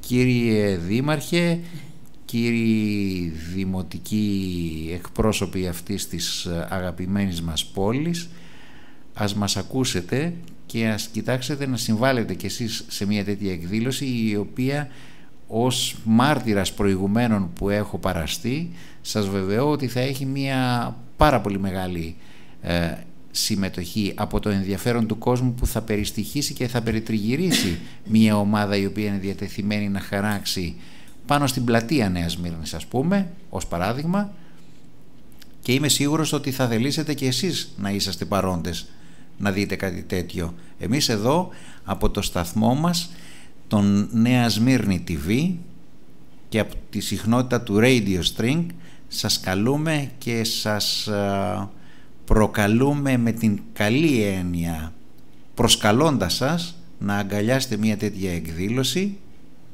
την οποία έχουμε την τιμή και τη χαρά να τη βγάζουμε προς τα έξω εμείς ο σταθμός ραδιοιντερνετικός τηλεοπτικός και να έχουμε την ανταπόκρισή σας και, την, και το αγκάλιασμα αυτής της πρότασης ε, για όποτε μπορεί να γίνει με καλές καιρικές συνθήκες για να μπορεί να γίνει έξω. Και θα δώσω την, ε, ε, τον λόγο στην αγαπημένη και πολύ έτσι τιμόμενη στην καρδιά μας και στις σκέψεις μας αγαπητή συνάδελφο Βασιλική Κολυπέτσα να κλείσει εκείνη την εκπομπή με δικά της λόγια. να μας πεις πρώτα αυτό που ήθελες να μας πεις. Ε, θέλω να αναφέρω δύο ε, οι οποίοι κάνουν μια μεγάλη προσπάθεια και πρέπει να τους υποστηρίξουμε μόνο με την παρουσία μας. Δεν χρειάζεται κάτι άλλο. Ε, πρώτα πρώτα είναι το Ίδρυμα Ξωτάρης, το οποίο είναι στην Κρήτη, στις αρχανες ε, και είναι ο κύριος ε, Παναγιώτης Γιαννάτος, ο οποίος ε, κάνει διαγωνισμό, έχει κάνει ένα διαγωνισμό 6 λίμπρις με θέμα ε, την Οδύσσια και την Ηλιάδα. Ήταν η πρώτη, ο πρώτο, η πρώτη, η πρώτη Biennale mm στην Ελλάδα. Δεν είναι εύκολο να διοργανωθούν κάτι τέτοια ε, κάτι τέτοιες, κάποιες τέτοιες δράσεις και πρέπει να του ε, πούμε ένα ευχαριστώ διότι έβαλε στη διαδικασία αυτή ε, τους φοιτητές των καλών τεχνών ε, για την ε, χώρα μας και επίσης να πούμε και ένα ευχαριστώ στον Γιώργο το Δημητρόπουλο που έχει την Καλερία Ανώνυμος ο οποίος είναι ένας εξαιρετικός άνθρωπος ε, με ποιότητα, υποστηρίζει τη χαρακτική, ε, χωρίς να έχει το σκεπτικό του να... Ε, το, το, το, σκεπτικό της φιλοχρηματίας ουσιαστικά, υποστηρίζει τους καλλιτέχνες, έχει μία έκθεση τώρα μέχρι τις 30 νοεμβριου και όποιος θέλει φυσικά μπορεί να την επισκεφτεί. Ωραία, να μας πεις που βρίσκεται αυτή. Ναι, είναι πίσω από το Κάραβελ, το ξενοδοχείο Αλκμεωνιδών 8. Μάλιστα. Η γκαλερί λέγεται Ανώνυμος. Και οι λειτουργίες... Είναι από την ελάχιστη, ελάχιστη, δηλαδή είναι σχεδόν ε, ο μόνος και κάποιος άλλος που ε, κάνουν εκθέσεις χαρακτικής. Ωραία. Ωραία. Εγώ θα φροντίσω να την επισκεφτώ την ε, ναι. έκθεση στην γκαλερί, να έχω και μια ιδία αντίληψη του χώρου και των εκθεμάτων. Και επίσης μου έδωσες και άλλη μία σκέψη παράλληλα η οποία είναι και μία ερώτηση προς εσένα για την ομάδα αυτή που δραστηριοποιείστε κάνοντας χαρακτικά, κατά πόσο αυτό το πράγμα βέβαια θα μπορούσαμε να το επεκτείνουμε και κάπου αλλού.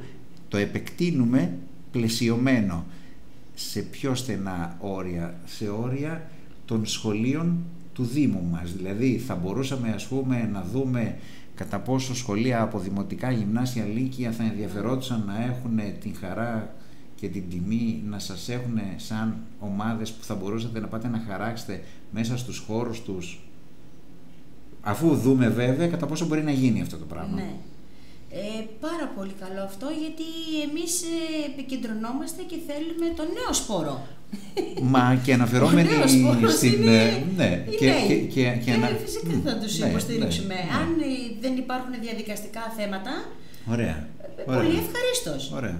Ωραία, πολύ, ωραία, πολύ ωραία. Μακάρι να γίνει κάτι τέτοιο και σε περίπτωση που γίνει νομίζω ότι θα είναι και ένα πάρα πολύ ωραίο θέμα και για το σταθμό μας με το συνεργείο των εξωτερικών λήψεων που γίνεται να μπορούμε να τις ε, μαγνητοσκοπήσουμε και να τις προβάλλουμε και μέσα στο πλαίσιο εκπομπών.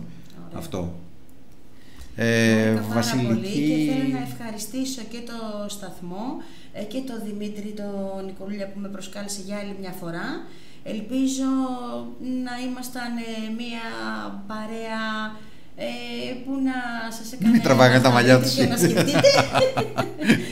Ευχάριστη δηλαδή με δυο λόγια. Ευχάριστη, ναι, ναι. Λοιπόν, και εύχομαι να τα πούμε και κάποια άλλη στιγμή.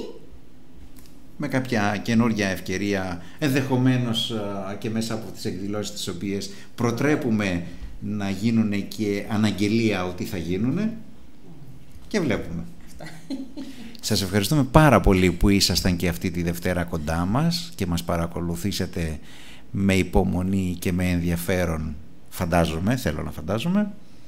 Σας καληνυχτούμε και θα έχουμε μία μουσική συνέχεια μέχρι την επόμενη εκπομπή. Χρόνια πολλά ξανά στις Άνες, χρόνια πολλά ξανά στις Άνες του σταθμού μας και σε όλον τον κόσμο που γιορτάζει. Γεια σας. Καλό σας βράδυ.